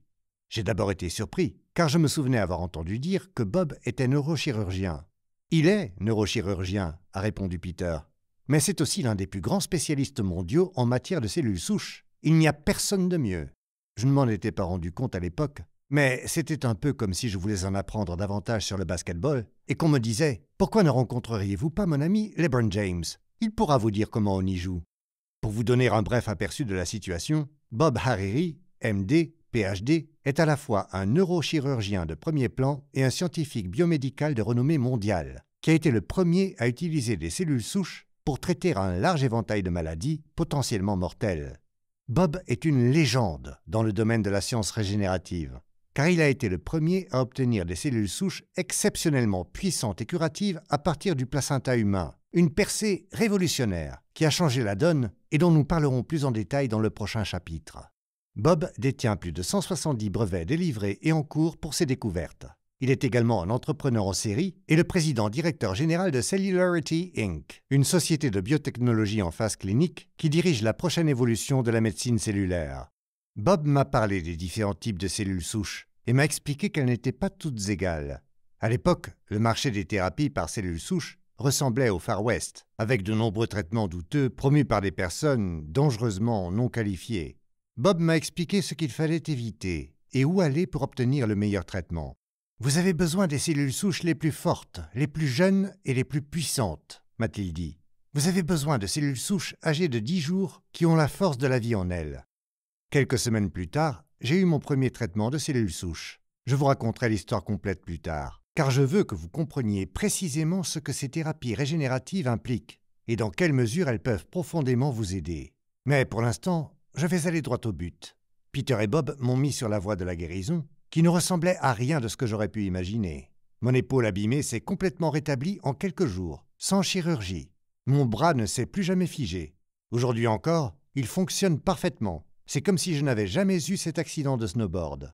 Mais quelque chose d'encore plus surprenant s'est produit. Quelque chose que je n'aurais pas cru possible si cela ne m'était pas arrivé personnellement. Quelques jours après mon premier traitement, je suis sorti du lit un matin et j'ai constaté que la douleur intense que j'avais ressentie dans mon dos pendant la majeure partie des 14 années précédentes avait entièrement disparu. C'était un miracle, un miracle absolu. Et c'est la raison pour laquelle j'écris ce livre, mon ami. La guérison de mon propre corps est ce qui m'a amené ici aujourd'hui. Au cours des dernières années, j'ai entrepris un voyage qui a changé ma vie. En cours de route, j'ai pu constater à quel point ce nouveau monde de technologie régénérative modifie radicalement notre compréhension de tout ce qui est possible en matière de santé, d'énergie, de force et de longévité. Mon rétablissement a commencé avec la thérapie par cellules souches que je viens d'évoquer. Mais je me suis rendu compte que cette révolution technologique va bien au-delà des cellules souches. Je veux partager avec vous ce que j'ai appris sur les nombreux outils de transformation qui sont disponibles dès maintenant pour remonter votre horloge biologique rajeunir votre corps et vous reconnecter à votre force de vie dans toute sa splendeur. Je peux vous promettre ceci. Une fois que vous vous serez engagé à utiliser ces outils et que vous aurez découvert par vous-même leur impact sur votre santé et votre bien-être, votre vie ne sera plus jamais la même. Mon expérience personnelle du rajeunissement m'a amené au Vatican pour rencontrer le pape et côtoyer les plus grands scientifiques du monde en matière de régénération. Cela dit, je ne suis ni un scientifique ni un médecin. Contrairement au docteur Bob Hariri, je n'ai pas passé des décennies à travailler dans un laboratoire de recherche. Je ne sais même pas s'ils font des sarraux assez grands pour un type comme moi. Aussi, lorsque j'ai envisagé d'écrire ce livre, j'ai demandé à Bob et Peter de faire équipe avec moi.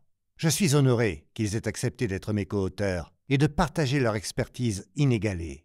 Nous avons tous les trois la chance d'être à une étape de notre vie où notre objectif principal est de servir les autres. C'est dans cet esprit que nous donnons 100% de nos bénéfices de ce livre pour faire une différence dans la vie des gens. Tout d'abord, nous donnons 20 millions de repas à Feeding America, l'une des organisations les plus efficaces que je connaisse pour aider les plus démunis. En fait, j'ai fait don des profits de mes trois derniers livres ainsi que de dons supplémentaires pour lancer le Billion Meal Challenge, le défi du milliard de repas. Nous sommes en avance sur le calendrier prévu pour fournir un milliard de repas d'ici 2025 et nous en sommes actuellement à plus de 850 millions de repas à ce jour. Le solde des bénéfices réalisés par les auteurs sur ce livre est reversé pour soutenir certains des plus grands leaders de la recherche médicale.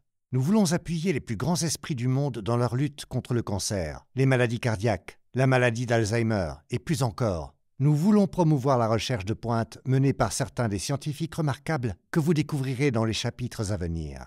Nous sommes ravis de contribuer à accélérer leurs efforts pour sauver des millions de vies. Je veux que vous sachiez qu'en écoutant ce livre, à la recherche de réponses pour améliorer votre propre vie, vous contribuerez non seulement à la recherche médicale, mais aussi à nourrir ceux qui en ont le plus besoin en cette période économique difficile.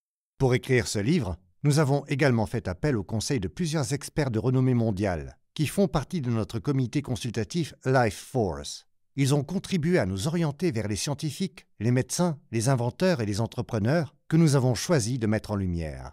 Nos conseillers pour n'en citer que quelques-uns, sont Dr. Dean Ornish, professeur clinicien à l'école de médecine de l'Université de Californie à San Francisco et président et fondateur de l'Institut de recherche en médecine préventive à but non lucratif. David Sinclair, PhD, professeur de génétique à la Harvard Medical School et co-directeur du Centre Paul F. Glenn de Harvard pour la recherche sur la biologie du vieillissement. George Church, PhD, le légendaire généticien et ingénieur en biologie moléculaire, et professeur de génétique Robert Winthrop à la faculté de médecine de Harvard. Deepak Srivastava, MD, président des Gladstone Institutes et directeur du centre de cellules souches Roddenberry de Gladstone.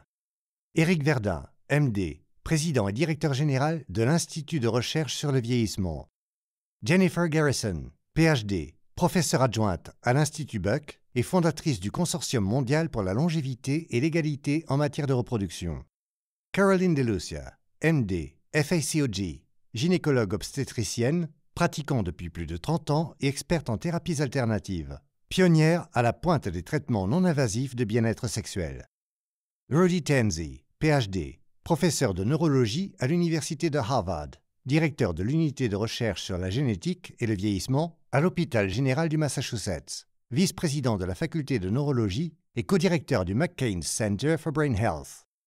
Rhonda Patrick, PhD, scientifique et éducatrice publiée, créatrice de Found My Fitness. Ses domaines d'expertise comprennent la recherche sur le vieillissement, menée au Salk Institute, le rôle de la génétique et de l'épigénétique dans l'état de santé, les avantages de l'exposition du corps à des facteurs de stress hormétiques et l'importance de la pleine conscience de la réduction du stress et du sommeil.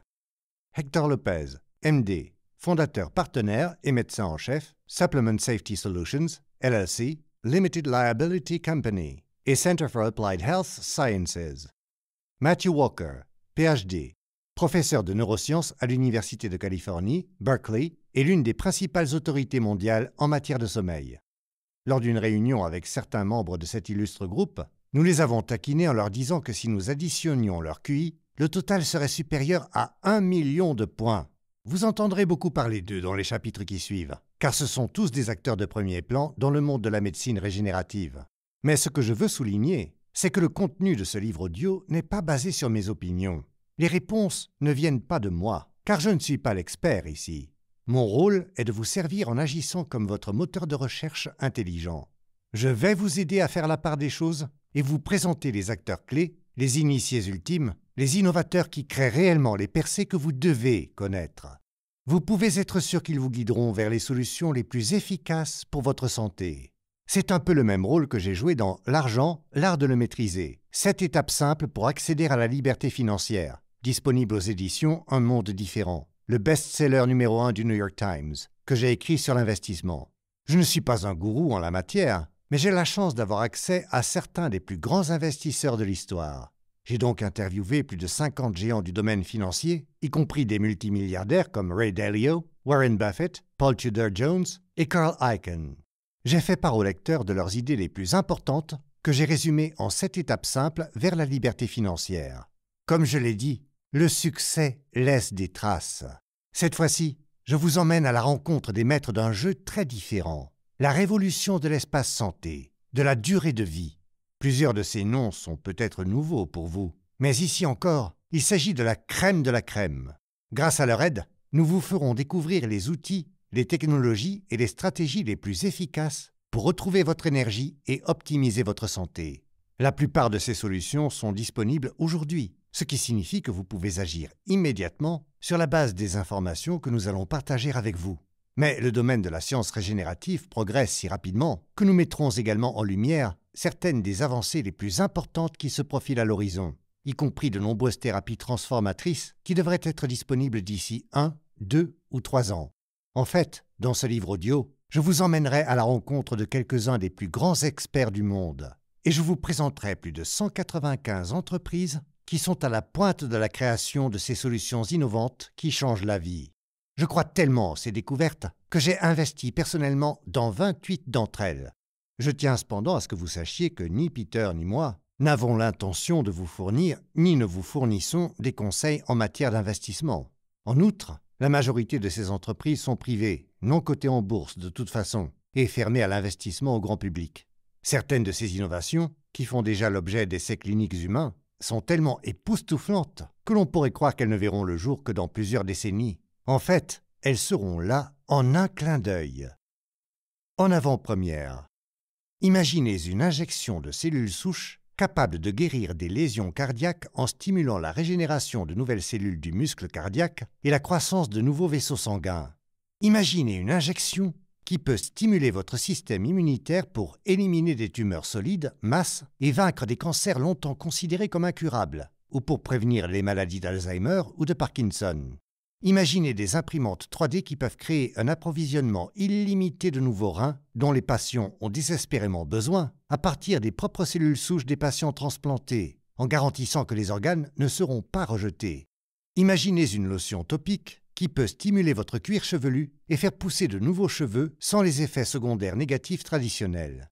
Imaginez une injection unique capable de guérir l'arthrose en régénérant et faisant se reformer du cartilage neuf et intact dans vos genoux ou votre dos.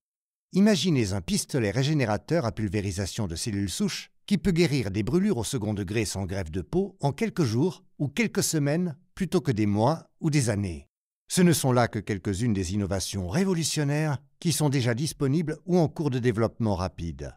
J'ai hâte que vous preniez connaissance de ces nouveaux outils extraordinaires qui promettent virtuellement une régénération pratiquement illimitée. Et je vous promets une expérience pleine d'émerveillement et d'excitation. La voie à suivre. Lorsque je me laisse aller à être ce que je suis, je deviens ce que je pourrais être, Lao Tse. Permettez-moi de vous poser une question. Qu'est-ce qui vous a poussé à écouter ce livre audio? Laissez-moi deviner. Vous vous sentez bien et vous voulez le rester pendant de nombreuses années. Vous êtes quelqu'un qui profite pleinement de chaque opportunité de pointe pour maintenir votre énergie élevée, éviter les maladies évitables et renforcer votre système immunitaire. Ou peut-être êtes-vous un athlète à la recherche de nouveaux moyens d'améliorer ses performances et vous voulez suivre les traces de gens comme Tiger Woods, Rafael Nadal et Cristiano Ronaldo. Tous ces champions ont eu recours à la médecine régénérative pour se remettre d'une blessure sans intervention chirurgicale et retrouver des performances optimales en quelques semaines au lieu de plusieurs mois. Ou êtes-vous une personne au sommet de votre domaine? Vous travaillez dur et vous avez bâti une vie que vous chérissez, mais ces derniers temps, vous vous sentez fatigué ou épuisé. Vous êtes maintenant prêt à raviver votre énergie, à retrouver votre dynamisme et à atteindre de nouveaux sommets. Ou peut-être que, comme moi, vous rouliez allègrement sur la voie rapide, vous vous sentiez fantastique, jusqu'à ce que vous frappiez soudainement un nid de poule ou un barrage routier monstre. Vous avez besoin des dernières avancées scientifiques, de la solution la moins invasive, avec les meilleures chances d'obtenir un bon résultat. Et certaines personnes sont en quête de longévité, mais elles ne veulent pas seulement vivre plus longtemps, elles veulent une qualité de vie extraordinaire. Enfin, vous cherchez peut-être à prolonger votre espérance de vie à découvrir les méthodes scientifiques et thérapeutiques qui, selon certains experts, pourraient vous permettre de vivre des décennies supplémentaires en bonne santé, et peut-être un jour de faire de 100 ans le nouveau 60 ans. Si vous appartenez à l'une de ces catégories, voire à plusieurs d'entre elles, alors rassurez-vous, ce livre est fait pour vous, quel que soit votre âge, quelle que soit l'étape de la vie à laquelle vous êtes, quelle que soit votre condition physique, vous trouverez une multitude de solutions pratiques qui vous aideront à vous rendre là où vous voulez aller.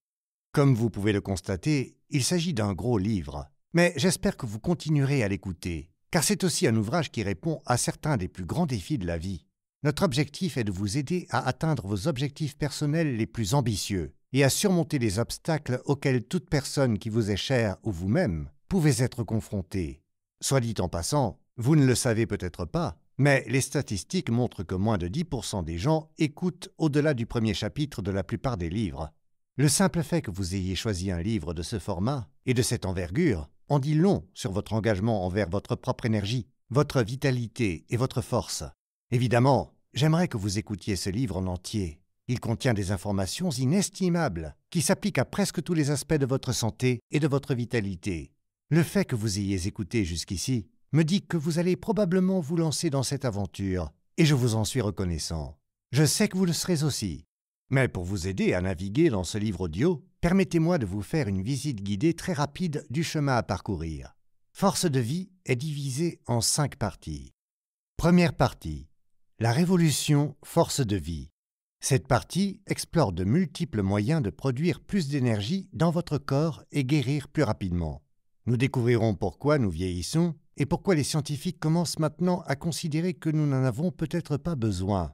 Après ce chapitre d'introduction, nous nous plongerons dans la matière première de la vie, les cellules souches humaines, une thérapie fondamentale pour le rajeunissement.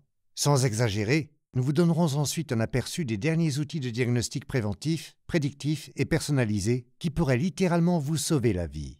Au fil de votre écoute, vous verrez que c'est vrai. Ne manquez pas ce chapitre. Nous vous montrerons également comment de simples tests pour votre profil hormonal peuvent vous aider à tracer la voie de la régénération en produisant plus d'énergie, de force, de dynamisme et de motivation que jamais auparavant. Cette section se terminera par une nouvelle perspective de l'un des experts en longévité les plus respectés au monde sur la cause profonde du vieillissement et comment nous pouvons suivre son exemple pour ralentir et même remonter le temps sur nos horloges biologiques. Le mécanisme de base dévoilé par ce brillant chercheur de Harvard jette les bases d'un grand nombre de thérapies et d'outils phénoménaux présentés dans les chapitres suivants. Deuxième partie. Les héros de la révolution régénérative. Nous examinerons en profondeur certaines technologies qui bouleversent les conventions et qui sont en train de changer la médecine telle que nous la connaissons, notamment des outils qui semblent inégalés par tout ce qui était connu jusqu'à présent. Nous vous guiderons à la rencontre des héros de ce livre, les innovateurs non conformistes qui font passer la médecine régénérative du banc de laboratoire au chevet du patient. Il s'agit de personnes comme Martin Rothblatt, qui a créé une toute nouvelle industrie du remplacement d'organes après que sa fille a développé une maladie pulmonaire rare en phase terminale le Dr Carl June, qui a pris les devants et les initiatives des cellules CAR-T, les médicaments vivants qui ont permis de vaincre les cancers du sang et de la moelle osseuse sans chimiothérapie ni radiothérapie, et l'équipe de Biosplice, qui déchiffre la pierre de rosette de la communication entre les cellules et semble être sur le point de trouver un remède contre l'arthrose. Au chapitre 5, Le miracle de la régénération des organes, vous apprendrez comment la technologie d'impression en 3D à partir de cellules souches a déjà permis d'aider des centaines de patients avec des vessies et des greffes de peau fabriquées par des machines, et pourrait bientôt faire en sorte que plus personne ne meure en attendant une transplantation cardiaque ou rénale. Et dans le chapitre 8, la thérapie génique CRISPR, le remède contre la maladie. Nous verrons comment les thérapies géniques et les techniques d'édition génomique permettent de réparer des lésions cardiaques, de rétablir une vision génétiquement déficiente, d'éliminer l'anxiété liée à la maladie d'Alzheimer et potentiellement de bloquer le processus de vieillissement lui-même. Certaines de ces thérapies révolutionnaires sont disponibles dès aujourd'hui. D'autres sont encore en train de se frayer un chemin à travers le processus intensif d'approbation de la FDA. À partir de la phase 1, est-elle sûre? À la phase 2, est-elle efficace? Et à la phase 3, est-elle efficace à grande échelle et meilleure que ce qui existe déjà? Mais vous n'avez pas besoin d'attendre en ligne les progrès futurs pour agir et améliorer votre force de vie maintenant. Voici juste un exemple. Une thérapie ambulatoire non invasive qui utilise des ultrasons pour soulager les tremblements incontrôlables de la maladie de Parkinson en quelques heures, et qui semble y avoir une vraie solution pour la dépendance aux opioïdes, pour commencer. Troisième partie. Ce que vous pouvez faire maintenant. Il s'agit d'une écoute indispensable, car nous partageons avec vous une gamme d'outils pragmatiques pour développer votre énergie physique et émotionnelle. Dans votre pharmacie de vitalité ultime, nous vous présenterons plusieurs suppléments rajeunissants largement disponibles et dotés de solides garanties de sécurité. Ils vont des commutateurs géniques naturels, comme les peptides, à une pilule peu coûteuse approuvée par la FDA, qui, selon certains scientifiques, pourrait protéger contre le cancer et les maladies cardiaques. Nous vous ferons également part de quelques éléments fondamentaux pour le bien-être d'une personne la nutrition, le jeûne, le sommeil et l'exercice. Nous vous indiquerons nos gadgets et dispositifs portables préférés que vous pouvez utiliser pour modifier vos habitudes, surveiller vos progrès et évaluer ce qui fonctionne le mieux pour votre corps unique. Plus important encore, nous vous montrerons les outils que nous avons trouvés et qui peuvent produire les résultats les plus puissants dans les plus brefs délais. Pour en venir aux principes fondamentaux, nous allons vous présenter une variété de régimes alimentaires et surtout leurs principes sous-jacents, car la science démontre qu'ils peuvent stimuler votre vitalité, améliorer votre santé et augmenter votre longévité. Nous montrerons comment une bonne nuit de sommeil exerce une influence sur tout, des niveaux de testostérone à la régulation de la glycémie. Nous discuterons de l'importance de la masse musculaire pour façonner votre santé. Nous vous révélerons quels sont les exercices les plus efficaces pour améliorer vos performances, y compris une séance d'entraînement hebdomadaire de 10 minutes pour augmenter votre force et votre mobilité. Et vous vous amuserez vraiment à le faire. Nous vous expliquerons même comment rajeunir votre apparence par la régénération cellulaire et d'autres technologies liées à la beauté, afin que vous puissiez paraître aussi jeune et dynamique que vous vous sentez, quel que soit votre âge biologique. Et nous nous tournerons vers deux experts de renommée mondiale pour démêler les complexités de la santé des femmes et nous aider à comprendre les facteurs les plus critiques pour leur qualité de vie. Quatrième partie. S'attaquer aux six principaux tueurs. Nous nous attaquerons aux plus grandes menaces pour la santé auxquelles la plupart d'entre nous sont confrontés, et nous vous présenterons les meilleurs outils de prévention et de traitements alternatifs. Ces défis de santé incluent 1. Les maladies cardiaques 2. L'accident vasculaire cérébral 3. Le cancer 4. La douleur chronique qui accompagne l'inflammation et les maladies auto-immunes 5. L'obésité et le diabète 6. La maladie d'Alzheimer et le déclin cognitif. Cette section approfondira les chapitres précédents pour explorer comment les dernières avancées en matière de thérapie génique, de technologie des cellules souches, de transplantation d'organes et d'autres outils fournissent de nouvelles armes puissantes dans la guerre contre ces tueurs de masse. Encore une fois, vous pouvez choisir de ne pas écouter tous les chapitres de la quatrième partie consacrée aux maladies. N'hésitez pas à sélectionner ce qui est le plus important pour l'un de vos proches ou pour vous. Cinquième partie. Longévité et état d'esprit. Et enfin, vous découvrirez que notre conception de l'âge, notre notion de ce que signifie être vieux ou d'âge moyen, est sur le point de changer pour toujours. Nous examinerons les technologies en plein essor, comme l'intelligence artificielle, les capteurs, les réseaux, CRISPR et la thérapie génique, qui permettent une révolution de la longévité. Nous comprendrons pourquoi de nombreux scientifiques parmi les plus respectés au monde pensent que l'âge de 80 ans peut devenir le nouveau 50 ans, et bientôt 100 ans, le nouveau 60 ans. Pouvez-vous imaginer ce que cela signifiera pour vous de vivre jeune à mesure que vous vieillissez, de conserver ou même d'accroître votre vitalité à une étape de la vie où la vieillesse et le déclin étaient autrefois les seules options? En se basant sur sa connaissance de tant de technologies différentes qui arrivent à maturité, Peter Diamandis espère vivre bien au-delà du siècle, et je ne parierai pas contre lui. Pourtant, nous savons tous que vivre plus longtemps peut être une bénédiction contradictoire. Pour une personne malade, souffrante et malheureuse, l'idée de prolonger sa vie de plusieurs décennies peut ressembler davantage à une punition qu'à une récompense. Le plus grand cadeau est la capacité de rajeunir notre corps, de rester joyeusement actif, productif, pleinement fonctionnel, épanoui, sans douleur et débordant d'énergie jusqu'à 70, 80, 90 ans et au-delà. En d'autres termes, ce que je vise, et ce que je souhaite pour vous, c'est non seulement que vous ayez la capacité de vivre, mais aussi que vous jouissiez d'une excellente qualité de vie. Je ne veux pas seulement que ma vie soit longue, mais je veux surtout être en bonne santé. Quel est le secret pour enrichir la qualité de votre vie? Bien que le bien-être physique soit inestimable, rien ne compte plus que notre état d'esprit et la puissance de notre esprit et de nos émotions pour guérir chaque facette de notre être. Nos deux derniers chapitres vous apprendront le pouvoir incroyable des placebos, comment notre esprit peut guérir notre corps et les décisions les plus importantes que vous pouvez prendre pour changer la qualité de votre vie.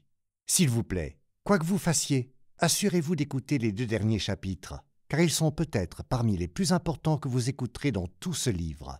Pourquoi? Parce que quoi que nous fassions avec notre corps, si nous ne gérons pas notre esprit et nos émotions, nous ne connaîtrons jamais la qualité de vie que nous désirons et méritons vraiment. Ils vous montreront le pouvoir de guérison de l'esprit, et en outre, vous guideront pour vivre dans un état magnifique qui élève votre esprit, votre corps et votre âme, vous permettant de vous connecter plus puissamment que jamais à votre propre force de vie. En vous libérant de la peur, vous serez libre de vivre davantage, d'aimer plus, d'accomplir plus et de partager plus, d'expérimenter à un niveau plus élevé du miracle stupéfiant d'être en vie. Alors, pourquoi ne pas prendre un moment maintenant pour créer un plan de match? Fixez-vous un objectif. Peut-être écouterez-vous un chapitre par jour, ou deux par semaine. Donc vous aurez terminé ce livre en douze semaines environ. Ou si vous êtes passionné par le sujet comme je le suis, vous dévorerez peut-être le livre pendant un long week-end. Ce que je peux vous promettre, c'est qu'à la fin de ce voyage, vous en saurez non seulement plus sur les dernières percées et technologies pour augmenter votre force, votre vitalité et votre puissance, mais aussi sur la façon de combattre les maladies et de les prévenir. Ces connaissances vous responsabiliseront et vous donneront du pouvoir non seulement pour vous-même, mais aussi pour votre famille ou toute personne que vous aimez. De plus, Tous les chapitres à venir comportent également un petit résumé au début, afin que vous sachiez à quoi vous attendre et quelles promesses s'annoncent. Cela ressemble-t-il à une route qui vaut la peine d'être parcourue?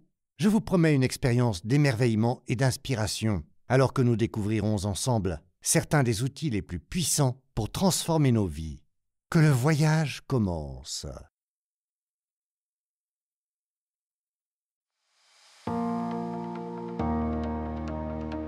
Chapitre 2 Le pouvoir des cellules souches. Exploiter la trousse de réparation naturelle.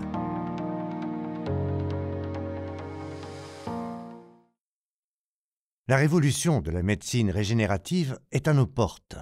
Comme le fer et l'acier à la révolution industrielle, comme la micropuce électronique à la révolution technologique, les cellules souches seront la force motrice de cette prochaine révolution. Cade Hildreth, fondateur de BioInformant, une firme de recherche sur l'industrie des cellules souches. Dans ce chapitre, vous découvrirez les cellules souches, les éléments de base de chaque tissu et organe du corps humain, mais surtout nous vous ferons part des résultats cliniques probants qu'elles génèrent quotidiennement. Les premiers résultats sont là, et ils sont tout simplement spectaculaires. Dans ce chapitre, vous apprendrez comment des athlètes comme Tiger Woods, Rafael Nadal et Cristiano Ronaldo ont eu recours à des cellules souches pour se remettre de ligaments déchirés et de douleurs dégénératives au dos, sans intervention chirurgicale, et souvent en quelques semaines plutôt qu'en quelques mois. Cinq patients atteints de dégénérescence maculaire liée à l'âge, une maladie évolutive qui conduit généralement à la cécité, ont stabilisé leur vue. En Californie, un jeune homme a retrouvé l'usage de ses mains et de ses bras après avoir été paralysé à partir du cou à la suite d'un accident de voiture. Il envisage maintenant de marcher à nouveau. Un garçon de 4 ans a surmonté les obstacles et vaincu la leucémie grâce aux cellules souches de sa sœur nouveau-née une adolescente a mis fin à l'agonie de l'anémie falciforme qu'elle a vécue toute sa vie. Une jeune femme de 26 ans, qui avait été immobilisée par la sclérose en plaques, est désormais sur les pistes de ski. Au total, plus d'un million de personnes ont vu leur vie transformée, voire sauvée, grâce aux cellules souches. Ce chapitre est spécial pour moi, car je suis l'une d'entre elles. Pour en savoir plus sur ces percées étonnantes, restez avec moi. Ce que vous apprendrez pourrait bien changer votre vie aussi. Au début, il y a la cellule souche. C'est l'origine de la vie d'un organisme. Dr Stuart Sell, un immunologiste qui étudie depuis 50 ans le lien entre les cellules souches et le cancer. Je souffrais encore de douleurs nerveuses lancinantes en raison de ma déchirure de la coiffe des rotateurs à l'épaule lorsque j'ai rencontré pour la première fois le docteur Bob Hariri, chirurgien scientifique entrepreneur qui est l'un des premiers pionniers de la biologie des cellules souches. Pour je ne sais quelle raison, j'avais imaginé un homme maigrichon, âgé et chauve, en sarrau de laboratoire. Bob était le meilleur dans son domaine, et je supposais qu'il serait réservé et un peu arrogant. J'avais tort. Il est entré, musclé, charismatique, bien coiffé et incroyablement chaleureux et humble. Sans réserve, Bob a commencé à me donner un aperçu de l'éducation de toute une vie, et j'ai tout de suite su que nous serions de grands amis. Pendant vingt ans, il a mené une croisade pour mettre sur le marché américain de masse les thérapies à base de cellules souches les meilleures et les plus sûres, afin de transformer les soins de santé réactifs pour les malades en soins de santé proactifs et de précision. Le docteur Bob est l'un de ces rares individus qui a décidé de changer le monde. Et ce qui retient encore plus l'attention, c'est qu'il possède l'intelligence, le savoir-faire, l'expérience et une ténacité à toute épreuve pour y parvenir. Je sais que vous avez entendu parler des cellules souches, ce précieux droit de naissance donné à chacun d'entre nous. Elles ont deux super-pouvoirs uniques. Contrairement aux autres cellules, elles peuvent se diviser et se renouveler pendant toute une vie. De plus, comme un passe-partout cellulaire, elles peuvent déverrouiller un nombre presque illimité de cellules au pouvoir de guérison. Elles peuvent se particulariser pour n'importe quel type de cellules dont notre corps a besoin. Elles peuvent réparer ou remplacer des tissus plus spécialisés dans la peau, les os, les muscles, le sang, la rétine, le foie, le cœur et le cerveau. En plus de tout le reste, les cellules souches peuvent renforcer notre système immunitaire pour nous aider à rester forts et en bonne santé. En un mot, les cellules souches sont la trousse de réparation de l'organisme. Elles fournissent la matière première, les signaux moléculaires et les facteurs de croissance qui nous permettent d'éviter les maladies de rebondir après une blessure et de vivre notre vie avec une énergie optimale et des performances de pointe. Avant de m'entretenir avec le Dr Bob, j'avais fait mes devoirs. Je savais que la Food and Drug Administration des États-Unis, l'organisme de réglementation médicale la plus stricte au monde, avait supervisé l'utilisation de cellules souches pour plus de 80 maladies du sang et du système immunitaire, y compris les leucémies et les lymphomes. Je savais que plus d'un million de personnes avaient subi une greffe de cellules souches dans le monde, avec des taux de survie sans maladie atteignant plus de 90%. Des centaines de milliers d'autres personnes ont réussi à subir en toute sécurité les essais cliniques pour les maladies auto-immunes, la maladie d'Alzheimer, la maladie de Parkinson et de nombreuses autres maladies chroniques. J'ai connu personnellement plusieurs personnes souffrant de problèmes articulaires qui ne juraient que par leur traitement non conforme à base de cellules souches. J'ai trouvé plusieurs petites études suggérant que les avantages étaient réels. Mais lorsque je suis allé consulter trois spécialistes différents pour essayer de traiter la douleur énorme que provoquait ma déchirure de la coiffe des rotateurs, je n'ai entendu qu'un cœur de négativité. Les cellules souches n'ont pas fait leur preuve m'ont-ils dit. Les cellules souches n'avaient pas été approuvées pour ce qui me faisait souffrir, ont-ils insisté. Ça ne vaut pas le coup, a déclaré l'un d'eux. Votre état est grave. Vous avez besoin d'une intervention chirurgicale immédiate, pas de promesses sans lendemain. Vous avez peut-être entendu des commentaires semblables de la part de vos propres médecins. C'est ce qui arrive aux patients qui commencent à chercher des solutions de rechange à la norme de soins officielle. J'ai écouté ces spécialistes. Ils étaient intelligents et doués, et je suis sûr qu'ils voulaient le meilleur pour moi. Mais je ne pouvais pas échapper à l'intuition lancinante et tenace que ma solution ne se trouverait pas sur une table d'opération. Au cours d'une année moyenne, je monte sur scène dans 115 villes de 12 à 16 pays, dont certaines plusieurs fois. Je prends mes engagements au sérieux. Des mois d'immobilisation pour me remettre d'une intervention chirurgicale ne me convenaient pas. Pour obtenir l'aide dont j'avais besoin, j'ai dû me rendre à l'étranger, dans un endroit où mon corps pourrait se guérir grâce à du soutien naturel. Je dois admettre que je n'étais pas très enthousiaste quant aux options qui s'offraient à moi en matière de cellules souches aux États-Unis, où les cliniques extraient des cellules autologues, un grand mot pour désigner les cellules de votre propre corps, à partir du tissu adipeux, graisse ou de la moelle osseuse du patient. Il s'agit d'une procédure douloureuse et invasive, et qui plus est, les résultats ne sont pas fiables. Au mieux, je remettrai mes anciennes cellules souches au travail en espérant qu'elles effectuent le travail avec un souhait et une prière. Après des semaines d'investigation, j'ai cru tomber dans une impasse. J'étais mal en point, blessé et découragé, jusqu'à ce que je rencontre le docteur Bob Hariri. Pour aller droit au but, Bob m'a dit que les cellules souches autologues, dérivées de la graisse, présentaient des limites cliniques importantes. Comme il l'a expliqué, nos tissus et nos organes passent par un processus continu de régénération et de regain, un processus naturellement dirigé par nos cellules souches. Le problème est le suivant. Dès notre naissance, notre réservoir de cellules souches commence à se tarir. C'est un processus appelé épuisement des cellules souches, qui est considéré comme l'une des principales causes du vieillissement. En vieillissant, certaines de nos cellules souches s'épuisent. La plupart d'entre elles restent en place, mais elles perdent leur capacité à réparer ou à remplacer nos tissus endommagés. À mesure que nous atteignons 25 ou 30 ans, le taux de décroissance commence à s'accélérer. À l'âge de 80 ans, nous n'avons plus qu'un millième du nombre de cellules souches que nous avions en bas âge, et les quelques cellules qui nous restent ne donnent pas une riche idée de ce qu'elles pourraient être. Nos corps, nos machines régénératrices naturelles et bien réglées, commencent à se heurter à des problèmes qu'ils ne peuvent plus résoudre. Bob est un excellent communicateur. Et il me l'a expliqué. Imaginez votre corps comme un magnifique manoir. Lorsqu'il a été construit pour la première fois, on y retrouvait un grand nombre de personnes chargées de l'entretien et des réparations qui savaient exactement quoi faire en cas de problème. Elles détectaient les fuites dans les tuyaux ou les courts-circuits dans le câblage avant que les petits problèmes ne deviennent importants. Vous n'aviez même pas à demander. Puis, les années passent et votre manoir vieillit. Le personnel est en train de mourir, ou ils sont épuisés ou séniles. Ils ne peuvent plus faire face aux trous dans le toit ou à la moisissure dans la chambre principale. Pire encore, les matériaux dont ils ont besoin pour les réparations commencent à manquer, et ceux qui leur restent ne sont pas aussi bons que les originaux. À un moment donné, le manoir s'effondre. À l'époque, j'avais 56 ans, et j'ai compris son point de vue. Mes cellules souches résidentes vieillissantes n'étaient peut-être pas en mesure de guérir mon épaule. Dans un monde parfait, disait Bob, nous ferions appel à l'ensemble de la source la plus abondante de cellules souches fraîches, Le placenta, après une naissance en bonne santé. Le placenta est l'annexe fétale qui protège le fœtus des dommages et lui fournit l'oxygène, les nutriments et les facteurs de croissance dont il a besoin pour se nourrir, ou ce que Peter appelle l'imprimante 3D de la nature qui fabrique le bébé. Comme Bob vous le dira, les êtres humains sont au mieux de leur forme biologique à la naissance, et peu après, la situation commence à s'aggraver. Congelées à la naissance, les cellules placentaires sont en parfaite condition. Leur ADN n'est pas corrompu par les virus ou les rayons UV, ni altéré par l'alcool, le tabac ou les radiations cosmiques qui pénètrent dans les avions à haute altitude.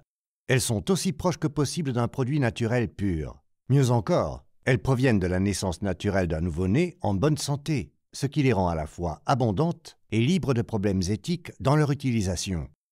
Au cours de sa formation chirurgicale à Cornell, Bob a été intrigué par la chirurgie fétale pratiquée in utero, dans l'utérus, sur un patient à naître atteint de spina bifida, une maladie dans laquelle la colonne vertébrale ne se ferme pas complètement, endommageant la moelle épinière et entraînant des malformations congénitales invalidantes.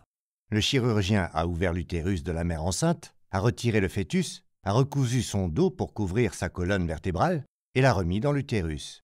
Des mois plus tard, après la naissance, le docteur Bob a été étonné de trouver un nourrisson en pleine forme, sans la moindre trace de cicatrice. C'était comme si l'intervention chirurgicale n'avait jamais eu lieu. Et Bob s'est rendu compte. Si nous pouvions exploiter ce pouvoir régénérateur, nous pourrions être littéralement en mesure de nous reconstruire nous-mêmes. Saviez-vous que notre espèce possède un potentiel de super-héros qui n'a pas encore été pleinement exploré? Dans un article rédigé en collaboration avec le scientifique qui a découvert les cellules souches mésenchymateuses, Arnold Kaplan de la Case Western Reserve University, Bob a noté que les nourrissons et même certains jeunes enfants peuvent faire régénérer le bout d'un doigt coupé à condition que la plaie ne soit pas recousue. Ils canalisent leur salamandre intérieure pour régénérer à nouveau les tissus perdus. Et que dites-vous de ça en prime? Le placenta agit aussi comme système de défense pour protéger le fœtus en développement contre un large éventail de menaces. L'organe contient des cellules immunitaires suralimentées et anticancéreuses, ce qui pourrait être l'une des principales raisons pour lesquelles il est pratiquement impossible pour les femmes enceintes atteintes d'un cancer de le transmettre à leur bébé. Êtes-vous déjà convaincu? Certainement. Mais ensuite, le docteur Bob m'a annoncé la mauvaise nouvelle. Malgré leur bilan apparemment sûr et efficace partout où leur utilisation était autorisée, les cellules dérivées du placenta n'étaient pas encore approuvées comme thérapie orthopédique aux États-Unis. Comme Bob l'a expliqué, la FDA a l'énorme responsabilité de guider et de garantir l'utilisation sécuritaire de ces thérapies, et il y avait encore beaucoup de travail à faire. Mon remède semblait si proche, et pourtant si loin.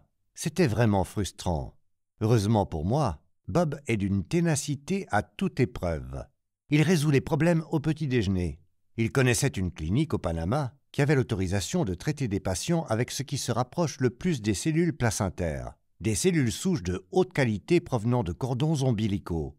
Ce n'est pas du tissu fœtal, ce n'est rien de tel, a-t-il souligné.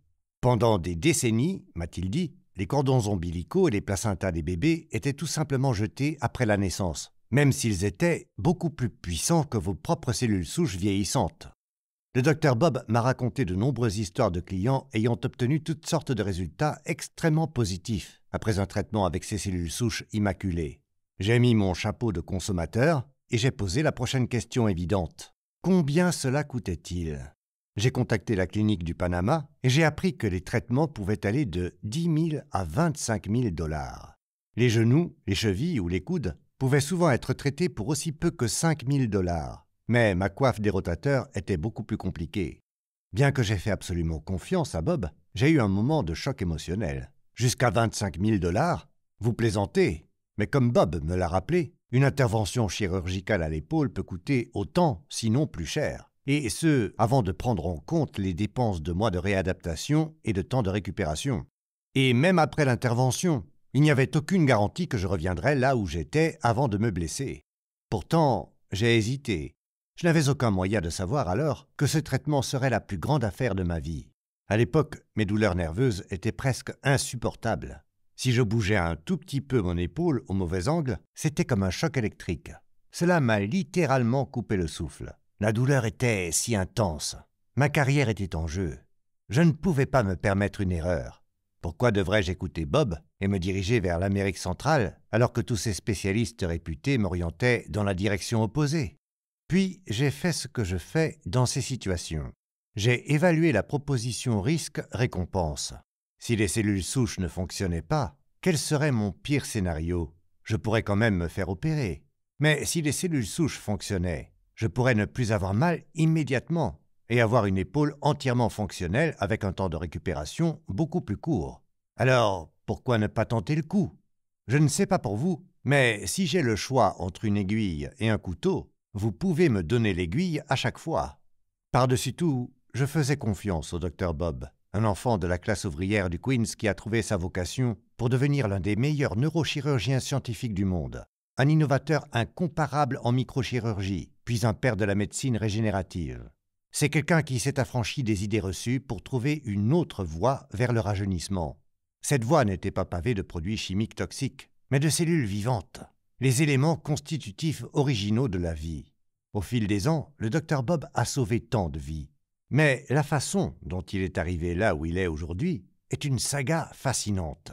Elle montre comment chacun d'entre nous peut trouver les réponses à ces questions si nous restons fidèles à ce qui nous anime. Dans le cas de Bob, son désir impérieux était d'aider les gens, de guérir leurs douleurs et de transformer l'ère de la médecine régénérative. Le pouvoir du sang neuf. La glorieuse obsession du docteur Bob à l'égard de la puissance des cellules souches a commencé au début des années 1980, il y a près de 40 ans, lorsqu'il était étudiant au doctorat en médecine et en doctorat à Cornell, à New York. Pour sa thèse, il voulait faire quelque chose qui puisse vraiment faire une différence. Il s'est donc concentré sur une cause majeure des maladies cardiaques et des crises cardiaques, la première cause de mortalité dans le monde, l'épaississement et le durcissement progressif des artères, connu sous le nom d'athérosclérose. Selon les idées reçues de l'époque, l'athérosclérose était causée par des problèmes métaboliques tels que l'hypertension artérielle et le cholestérol. Mais Bob soupçonnait que cela pourrait être plutôt motivé par une inflammation liée à l'âge. Après avoir appris la microchirurgie, il a fait quelque chose qui allait modifier l'histoire de notre compréhension des cellules souches. En substance, il a échangé des vaisseaux sanguins microscopiques provenant de jeunes souris et les a placés dans des souris plus âgées et vice-versa. Ce qui s'est passé ensuite était stupéfiant. Tout d'abord, les souris plus âgées semblaient rajeunir. Leurs poils sont devenus plus épais et plus foncés. Leurs muscles se sont renforcés. Elles ont traversé les labyrinthes beaucoup plus rapidement. Pendant ce temps, c'est exactement le contraire qui est arrivé aux jeunes souris qui avaient reçu les vaisseaux sanguins des souris plus âgées. Elles semblaient plus léthargiques, elles se sont dégradées, leur état de santé s'est détérioré. Bob voulait voir si des facteurs présents dans le sang jeune pouvaient aider les animaux plus âgés à guérir. Il a donc pratiqué une incision dans le tissu transplanté dans les deux groupes pour évaluer la rapidité avec laquelle les dommages seraient réparés. Encore une fois, il a observé quelque chose d'incroyable. Les tissus des souris plus âgées ayant subi une incision ont guéri rapidement à l'intérieur des animaux plus jeunes, à un rythme miraculeux. En fait, ils ont guéri encore plus vite que les jeunes vaisseaux sanguins qu'il avait mis dans les souris plus âgées. Le docteur Bob avait fait une découverte extraordinaire. Il avait accompli un exploit de rajeunissement que la plupart des gens pensaient impossible. Bien qu'il ait fallu des années avant que Bob et d'autres ne démontrent que nos cellules souches s'épuisent et s'affaiblissent avec l'âge, la graine avait été plantée Bob a compris que l'inflammation était l'aiguille des secondes, lente et précise, de l'horloge du vieillissement. Elle tourne sans cesse, elle ajoute toujours du temps. Votre état d'inflammation fait circuler les facteurs qui érodent vos organes et vos tissus, ce qui endommage votre réservoir de cellules souches. À partir de ce moment-là, a déclaré Bob, ma thèse a été que le vieillissement était en fait vraiment un problème de cellules souches. De plus, les expériences sur les souris ont montré qu'il était possible de remonter le temps dans un organisme vivant, que le temps pouvait être soustrait aussi bien qu'il pouvait être ajouté. Les cellules souches avaient le pouvoir de réduire l'inflammation, de guérir les tissus, de restaurer les organes et de redonner une fonctionnalité plus jeune. Quel était le résultat? Cela signifiait que le vieillissement était réversible. C'est à ce moment-là que Bob s'est rendu compte que les cellules souches deviendraient inévitablement une technologie de la santé qui aurait des répercussions importantes pour un éventail d'affections. Tout ce qui manquait, disait-il, c'était un produit qu'un médecin pourrait administrer comme un produit pharmaceutique ou tout autre produit thérapeutique. Mais Bob savait aussi que le domaine ne prospérerait jamais tant qu'il dépendrait de cellules souches embryonnaires ou fétales. Et il a pensé il doit y avoir une meilleure souricière. Le pouvoir du placenta. Le placenta est un centre d'approvisionnement pour les cellules souches. Dr Bob Hariri. Quelques années plus tard, il l'a trouvé. Lorsque Bob est rentré du travail pour voir l'échographie du premier trimestre de sa fille, Alex, elle avait la taille d'une cacahuète, parfaitement normale. Ce qui a surpris Bob, c'est le placenta. Il semblait gigantesque, beaucoup plus grand que ce à quoi il s'était attendu, et bien disproportionné par rapport à l'enfant à naître. Comme tous les anciens étudiants en médecine, Bob avait appris que le placenta était une interface vasculaire entre la mère et le fœtus en développement, un ensemble dense de vaisseaux sanguins pour canaliser les nutriments vitaux et l'oxygène, ni plus ni moins. Mais si c'était tout ce qu'il y avait, se demandait-il, le placenta ne se développerait-il pas en même temps que le fœtus qu'il nourrissait? Quelle raison pourrait-il y avoir pour que le placenta devienne si gros si tôt? Bob n'a probablement pas été le premier scientifique à remarquer cette anomalie, mais il a sans doute été le premier à l'étudier de manière obsessionnelle et à comprendre la valeur biologique du placenta. Il a émis l'hypothèse que ces organes avaient été ignorés parce qu'ils ressortent avec une apparence horriblement extraterrestre et sanglante. Peut-être que le fait d'être chirurgien traumatologue et de ne pas être le moins du monde dégoûté m'a permis de les apprécier plus facilement. Bob a reçu une formation d'ingénieur avant de devenir médecin. Les ingénieurs savent que la forme suit la fonction. Ergo, le placenta devait être plus qu'une interface. Bob pensait qu'il devait d'une certaine manière gérer le développement en contrôlant le taux de croissance du bébé. Mais si c'est le cas, pourquoi Et comment son cerveau d'ingénieur continuait d'être tiraillé par le problème? Un jour, il a sorti un placenta d'une poubelle à déchets médicaux et l'a rapporté dans son laboratoire. Les gens pensaient que j'étais fou. Lorsqu'il l'a perfusé avec du liquide et a commencé à le défaire, il ne ressemblait pas à une interface vasculaire, il ressemblait à un bioréacteur. C'est un organe très lobulaire, avec des zones denses de tissu et un grand nombre de cellules. Et ces cellules se divisent, se propagent et se différencient, et elles passent de la circulation sanguine du placenta à celle du fœtus.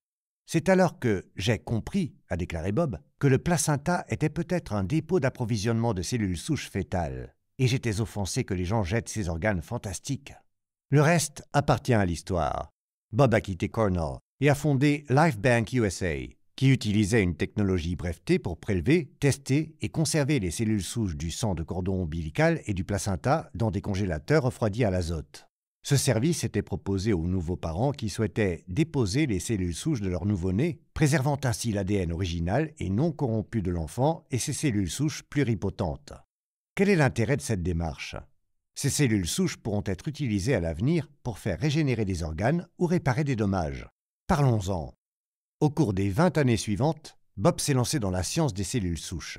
Son équipe de recherche, dirigée par Shakui Jiang, PhD, de la prestigieuse université Rockefeller, et Chien Yi, PhD, du Memorial Sloan Kettering, a confirmé que le placenta fabriquait un nombre considérable de cellules souches pluripotentes.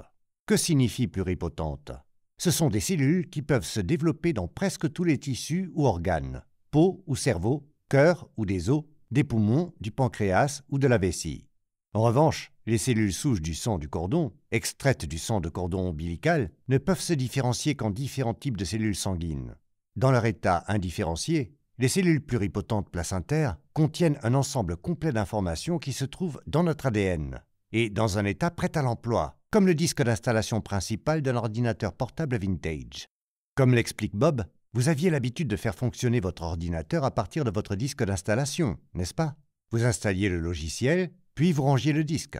Vous le protégiez de tout ce qui pouvait corrompre le logiciel, comme les sources de rayonnement électromagnétique, juste au cas où vous en auriez besoin un jour. Et si le logiciel de votre ordinateur commençait à se détériorer, vous pouviez simplement l'effacer et le réinstaller, et il était à nouveau comme neuf. Avec les cellules souches placentaires, je pensais pouvoir protéger le logiciel biologique de l'ADN, en le congelant en profondeur. Ainsi, lorsque quelqu'un en a besoin, nous pouvons lui donner ses cellules souches avec son génome complet, non corrompu, le schéma directeur de toutes leurs protéines et enzymes, etc. C'était ma théorie. Une fois que les bébés sont nés et que leurs tissus après la naissance sont jetés, il est impossible de récupérer ces cellules souches impeccables, nos disques durs d'installation parfaits. Bob n'oubliera jamais un couple qui avait été découragé par leur médecin de famille de mettre en banque le sang de cordon ombilical de leur premier enfant. Lorsque leur deuxième enfant a développé une leucémie et avait désespérément besoin d'une greffe de cellules souches, le couple est revenu le voir en larmes. Un traitement potentiel leur avait échappé. Peter Diamandis a mis en banque les placentas de ses jumeaux avec Lifebank USA. J'ai fait de même pour ma petite fille. Et nous avons investi dans cette organisation pour que cela devienne la norme. Comme le dit Bob, la science est en constante évolution, avec des applications formidables en réserve. Si votre bébé naissait avec des poumons ou des reins de rechange, pourquoi les jetteriez-vous à la naissance? Contrairement aux cellules souches autologues, provenant de notre propre tissu adipeux ou de notre propre moelle osseuse, l'utilisation de cellules souches placentaires ne comporte aucun risque ni aucun inconfort pour les donneurs. Elles peuvent être normalisées et mises à disposition à court terme comme n'importe quel médicament en vente libre. Les dépenses liées au service, les postes qui rendent les autres thérapies si exorbitantes, sont éliminés. Et lorsque les produits à base de cellules souches seront fabriqués à grande échelle, ils seront abordables dans tous les domaines. Avec environ 140 millions de naissances par an dans le monde, les cellules souches dérivées du placenta pourraient ouvrir la voie à un avenir de médecine régénérative et de précision démocratisée. Elles pourraient être mises à la disposition de tous, quel que soit leur patrimoine ou leur revenu. Un seul placenta fournit plus de 100 000 doses thérapeutiques, soit exponentiellement plus que les cordons ombilicaux ou toute autre source. Bob a pris cette information et a créé une entreprise en démarrage appelée Genesis. Il a ensuite fusionné avec Celgene, la plus grande société de biotechnologie au monde. Au cours des sept années suivantes, alors que Bob dirigeait la division de thérapie cellulaire de Celgene, il a découvert le potentiel de la médecine cellulaire pour traiter le diabète, la maladie de Crohn, les plaies et les brûlures cutanées, et même les tumeurs solides malignes qui ont contrarié les esprits les plus doués en sciences. En 2017, Bob s'est associé à Peter Diamandis pour créer une nouvelle entreprise, Cellularity. J'ai également investi dans cette entreprise, qui est désormais une société cotée en bourse au Nasdaq. Cette bioraffinerie fixe la barre pour un éventail de thérapies grand public, des cellules souches pluripotentes aux cellules T modifiées et aux cellules tueuses naturelles, NK. Bob a décrit comment Cellularity commence déjà à changer la donne en traitant les leucémies et autres cancers du sang avec des cellules tueuses naturelles dérivées du placenta. Une fois l'approbation de la FDA obtenue, l'entreprise pourra fournir des millions de traitements pour une myriade d'autres cancers. Quel retournement de situation pour le placenta? De détritus médicaux, il devient de l'or liquide curatif pour la guérison. Quant aux cellules souches embryonnaires, Bob les considère comme inadaptées à de vastes applications cliniques. Les questions éthiques mises à part, il pense que les cellules placentaires sont nettement supérieures pour la mise au point de médicaments. Beaucoup d'ovules fécondés peuvent atteindre le stade de blastocyste, mais ne sont pas assez bons pour mener à bien une grossesse à terme.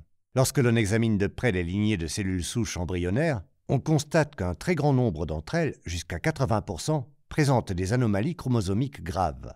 Ces anomalies empêcheraient normalement une grossesse d'aller jusqu'à son terme, ce qui se produit lorsqu'une femme a des règles manquées. D'emblée, c'est un cauchemar pour le contrôle de la qualité des cellules souches embryonnaires.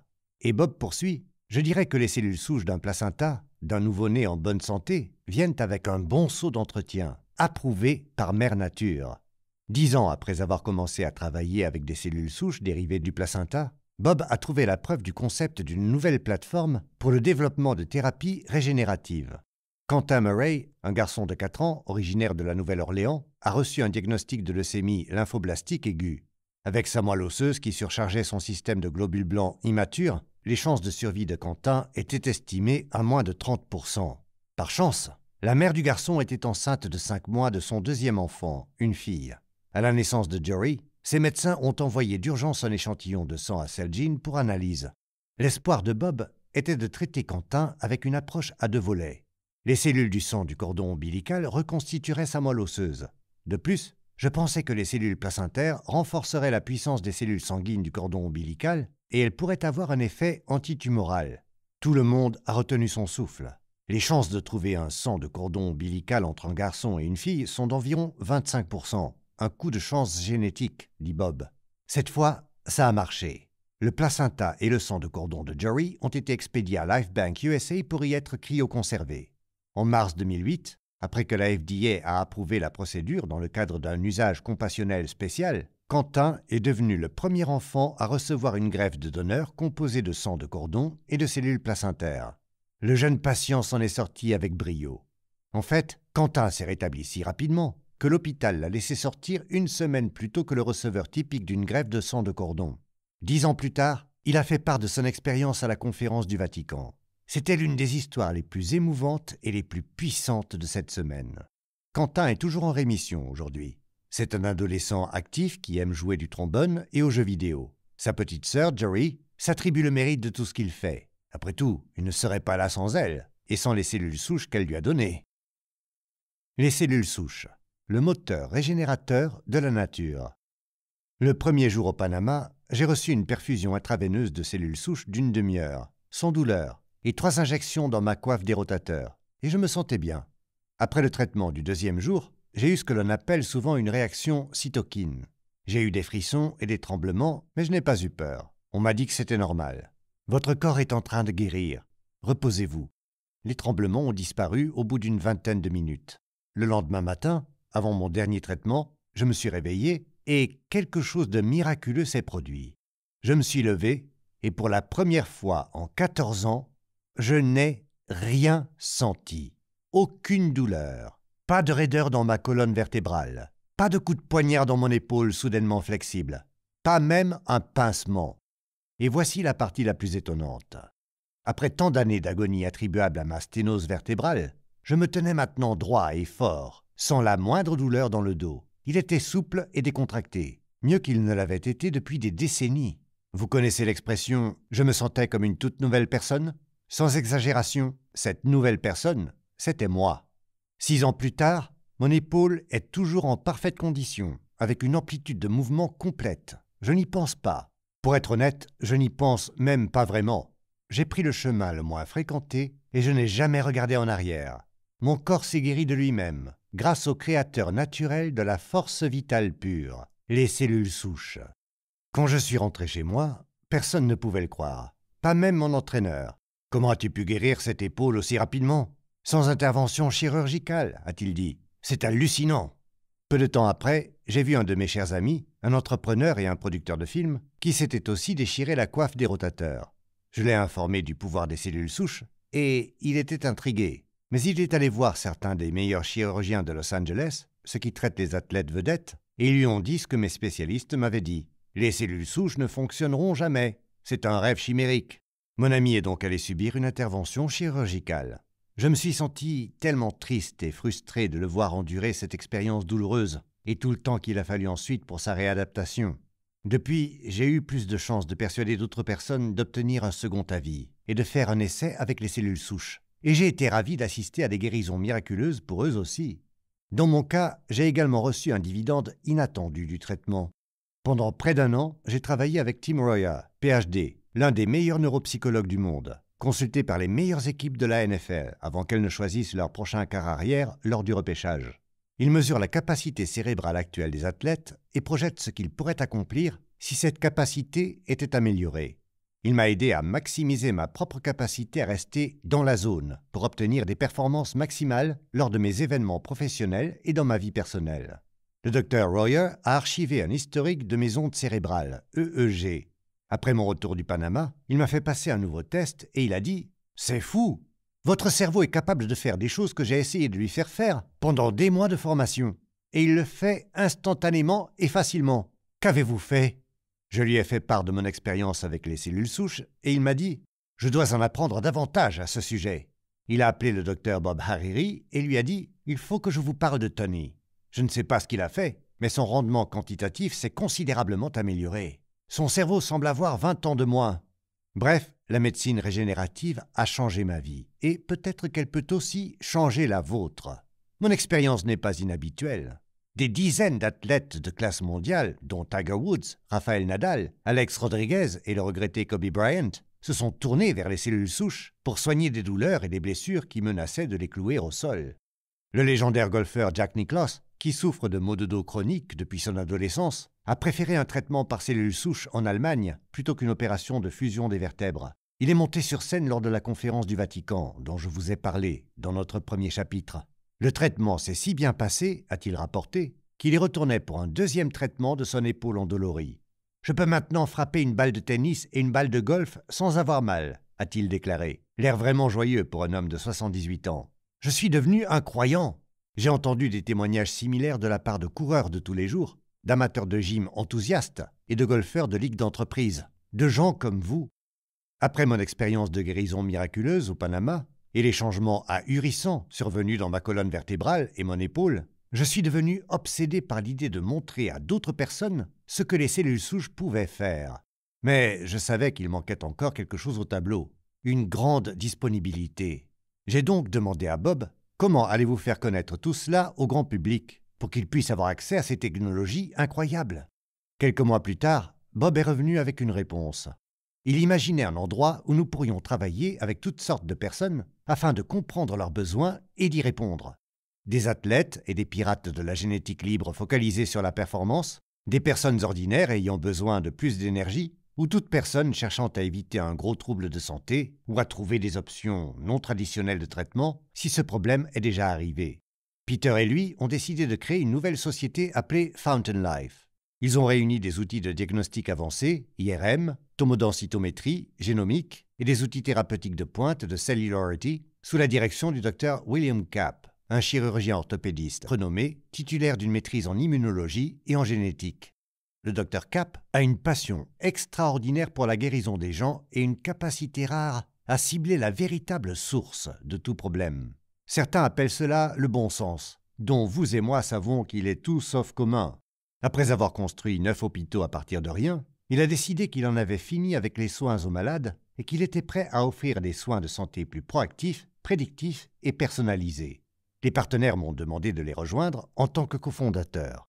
Notre nouvelle entreprise a ouvert six centres Fountain Life aux États-Unis et est en voie d'en ouvrir neuf aux États-Unis et trois à l'étranger d'ici à la fin de 2023. Pensez à Fountain Life comme votre coach de santé personnel, qui identifie les traitements les plus avancés et les plus efficaces disponibles aujourd'hui et les propose à ses membres. Alors que vous serez toujours le PDG de votre propre santé, Fountain Life peut vous aider à maximiser votre force, votre énergie et votre qualité de vie. Les centres de remise en forme unique de l'entreprise intègrent une séance d'entraînement brevetée de 30 minutes piloté par l'IA, intelligence artificielle, pour vous aider à développer votre masse musculaire, élément essentiel de la vitalité et du prolongement de la vie. Les clients de Fountain Life vont des gens d'affaires milliardaires, aux mères de famille au foyer, en passant par l'équipe de football américain, les Steelers de Pittsburgh. Vous dites que vous n'habitez pas à proximité d'un centre de Fountain Life? J'ai de bonnes nouvelles pour vous. Vous n'avez pas besoin d'attendre pour rejoindre la révolution de la médecine régénérative nous avons créé une nouvelle application, Fountain OS, qui permet d'évaluer votre véritable état de santé, d'accéder à une suite de diagnostics pilotés par l'IA et de vous aider à orienter votre parcours de santé. Votre médecin peut même l'utiliser pour coordonner certains des tests les plus avancés pour vous. Vous en saurez plus à ce sujet dans notre troisième chapitre consacré au diagnostic. En attendant, vous pouvez télécharger l'application gratuite Fountain OS sur www.lifeforce.com. Pourquoi me suis-je engagé dans Fountain Life? Parce que j'avais déjà expérimenté les avantages considérables des diagnostics avancés et de la thérapie cellulaire, et je voulais que d'autres puissent en profiter. De plus, je voulais rester à la fine pointe de la technologie pour mon propre bien et celui de ma famille. Par-dessus tout, je partageais la vision de mes cofondateurs, qui consistait à intensifier la prestation de ces merveilleuses thérapies et à les rendre accessibles à des millions de personnes. Peter, Bob, Bill Cap et moi-même avons pour mission de démocratiser la médecine régénérative et de la rendre largement disponible. Nous tirons parti de l'impact de nombreux nouveaux traitements révolutionnaires, ainsi que des greffes de cellules souches allogéniques, un mot à 10 dollars qui signifie essentiellement qu'elles proviennent de quelqu'un d'autre, pas de vous. Au fil du temps, nous sommes déterminés à trouver un moyen de réduire de 90% ou plus le coût des médicaments et des traitements cellulaires de qualité pharmaceutique offerts dans le commerce. Cela nous ramènerait à 2 ou 3 000 dollars pour traiter un cas typique d'arthrose. Tout se résume à ceci. Bob avait un rêve magnifique et audacieux, et je voulais en faire partie. Il imagine un monde où nous serons tous capables de recharger notre moteur de régénération naturelle pour gérer et contenir les causes de décès prématurés et de maladies chroniques. Il veut que les athlètes soient capables de réaliser des performances supérieures et que les gens ordinaires aient un niveau d'énergie et une qualité de vie extraordinaires. C'est une vision extrêmement ambitieuse, cela ne fait aucun doute. Mais c'est une chose que j'aime chez Bob, Peter et Bill, et c'est ce qui me fait me sentir le plus vivant. Nous nous investissons à fond dans tout ce que nous faisons. En plus de tout le reste, nous sommes tous des pilotes. Il y a des années, Bob et Peter ont fondé la Rocket Racing League, la première utilisation civile d'avions propulsés par fusée, construits sur mesure, juste pour le plaisir. Dans tout voyage qui exige une navigation ponctuelle précise et une accélération rapide, je veux Bob, Peter et Bill à mes côtés. De plus, j'ai la passion de fréquenter des génies. D'après mon expérience, quelque chose déteint sur vous lorsque vous côtoyez des personnes aussi brillantes. La proximité, c'est le pouvoir. Alors maintenant, avant de plonger dans le tableau d'ensemble des cellules souches et de leur énorme promesse, permettez-moi de vous lire directement ce que le docteur Bob Hariri veut vous transmettre, dans ses propres mots. Bob, c'est à vous. Merci, Tony. Je voudrais mettre en contexte l'histoire que Tony vient de partager avec vous. Tony Robbins est un athlète de l'extrême. Avec son corps de près de 2 mètres et ses 128 kilos, il est soumis à des exigences physiologiques sans précédent pour un jeune homme de 20 ou 30 ans et encore moins pour quelqu'un de 62 ans. Vous ne pouvez pas limiter un spécimen physique qui monte sur scène et fait des choses que d'autres êtres humains ne peuvent pas égaler. Après la déchirure à la coiffe des rotateurs de l'épaule de Tony, et qu'on lui a diagnostiqué une sténose de la colonne vertébrale, je savais que les thérapies conventionnelles pour les maladies dégénératives des articulations offraient une faible probabilité de lui permettre de retrouver le niveau exigé par son mode de vie. Et soyons réalistes, une fois que vous avez remplacé une articulation, vous avez franchi le Rubicon. Votre choix est décisif et irréversible, et vous devez en assumer toutes les conséquences. Donc, pour Tony, la thérapie par cellules souches était un choix raisonnable. En cas d'échec, il pouvait toujours se faire opérer. Mais l'intervention n'a pas échoué. Et nous avons maintenant l'une des voies les plus crédibles au monde, celle de Tony, qui s'est investi pour apprendre comment les cellules souches fonctionnaient réellement. Étant donné que Tony a expérimenté les résultats dans son propre corps, il peut parler avec une réelle autorité et en connaissance de cause. Peu de gens ont consacré du temps et des efforts comme lui pour comprendre la vision des experts, Lorsque j'ai créé Cellularity, c'était le fruit de deux décennies d'efforts pour développer de la médecine cellulaire et la livrer avec la qualité et à un prix abordable à grande échelle, et pour un large éventail d'applications cliniques. Cela inclut les maladies auto-immunes, l'une des dix principales causes de décès chez les femmes jeunes et d'âge moyen. En immunothérapie du cancer, nous visons à perturber les perturbateurs. Notre objectif est de rendre abordable et assurable des thérapies qui coûtent aujourd'hui dans les six chiffres aux personnes de conditions économiques moyennes. D'ici une dizaine d'années, j'imagine une époque où la thérapie cellulaire ne coûtera pas plus cher que les traitements biologiques actuels des maladies inflammatoires ou du cancer, et avec beaucoup plus de sécurité et d'efficacité. Au tournant de ce siècle, nous avons regardé dans la poubelle de déchets médicaux et nous avons commencé à isoler des cellules souches uniques à partir de placentas postpartum jetés au rebut. Il est maintenant temps de passer à l'étape suivante, de faire en sorte que les gens reconnaissent la thérapie cellulaire comme une option pratique pour leurs problèmes de santé. C'est le défi qui nous attend. Tony, Peter et moi-même, ainsi que notre partenaire, le docteur William Capp, nous voyons l'avenir de la médecine cellulaire comme pratiquement illimité, qu'il s'agisse de guérir votre cancer ou de réparer vos articulations, votre cœur ou votre cerveau. Nous savons déjà à quel point ces outils sont puissants. Les gens commencent à se sentir à l'aise avec le fait qu'ils sont vraiment sûrs. Nous sommes tous les quatre pressés, car il y a un impératif moral à accélérer ces progrès et à les rendre accessibles à tous. De plus, nous ne rajeunissons pas. J'espère que nous aurons la chance de vous servir, vous ou quelqu'un que vous aimez, soit pour prévenir un problème grave, soit pour être là au moment où vous aurez le plus besoin d'aide. Merci. Chers auditeurs, nous espérons que vous avez aimé ce livre. Vous pouvez écouter la version intégrale du livre en suivant le lien dans la description. Si vous voulez participer au tirage au sort de cadeaux sympas, abonnez-vous à la chaîne, cliquez sur J'aime et laissez un commentaire sous la vidéo.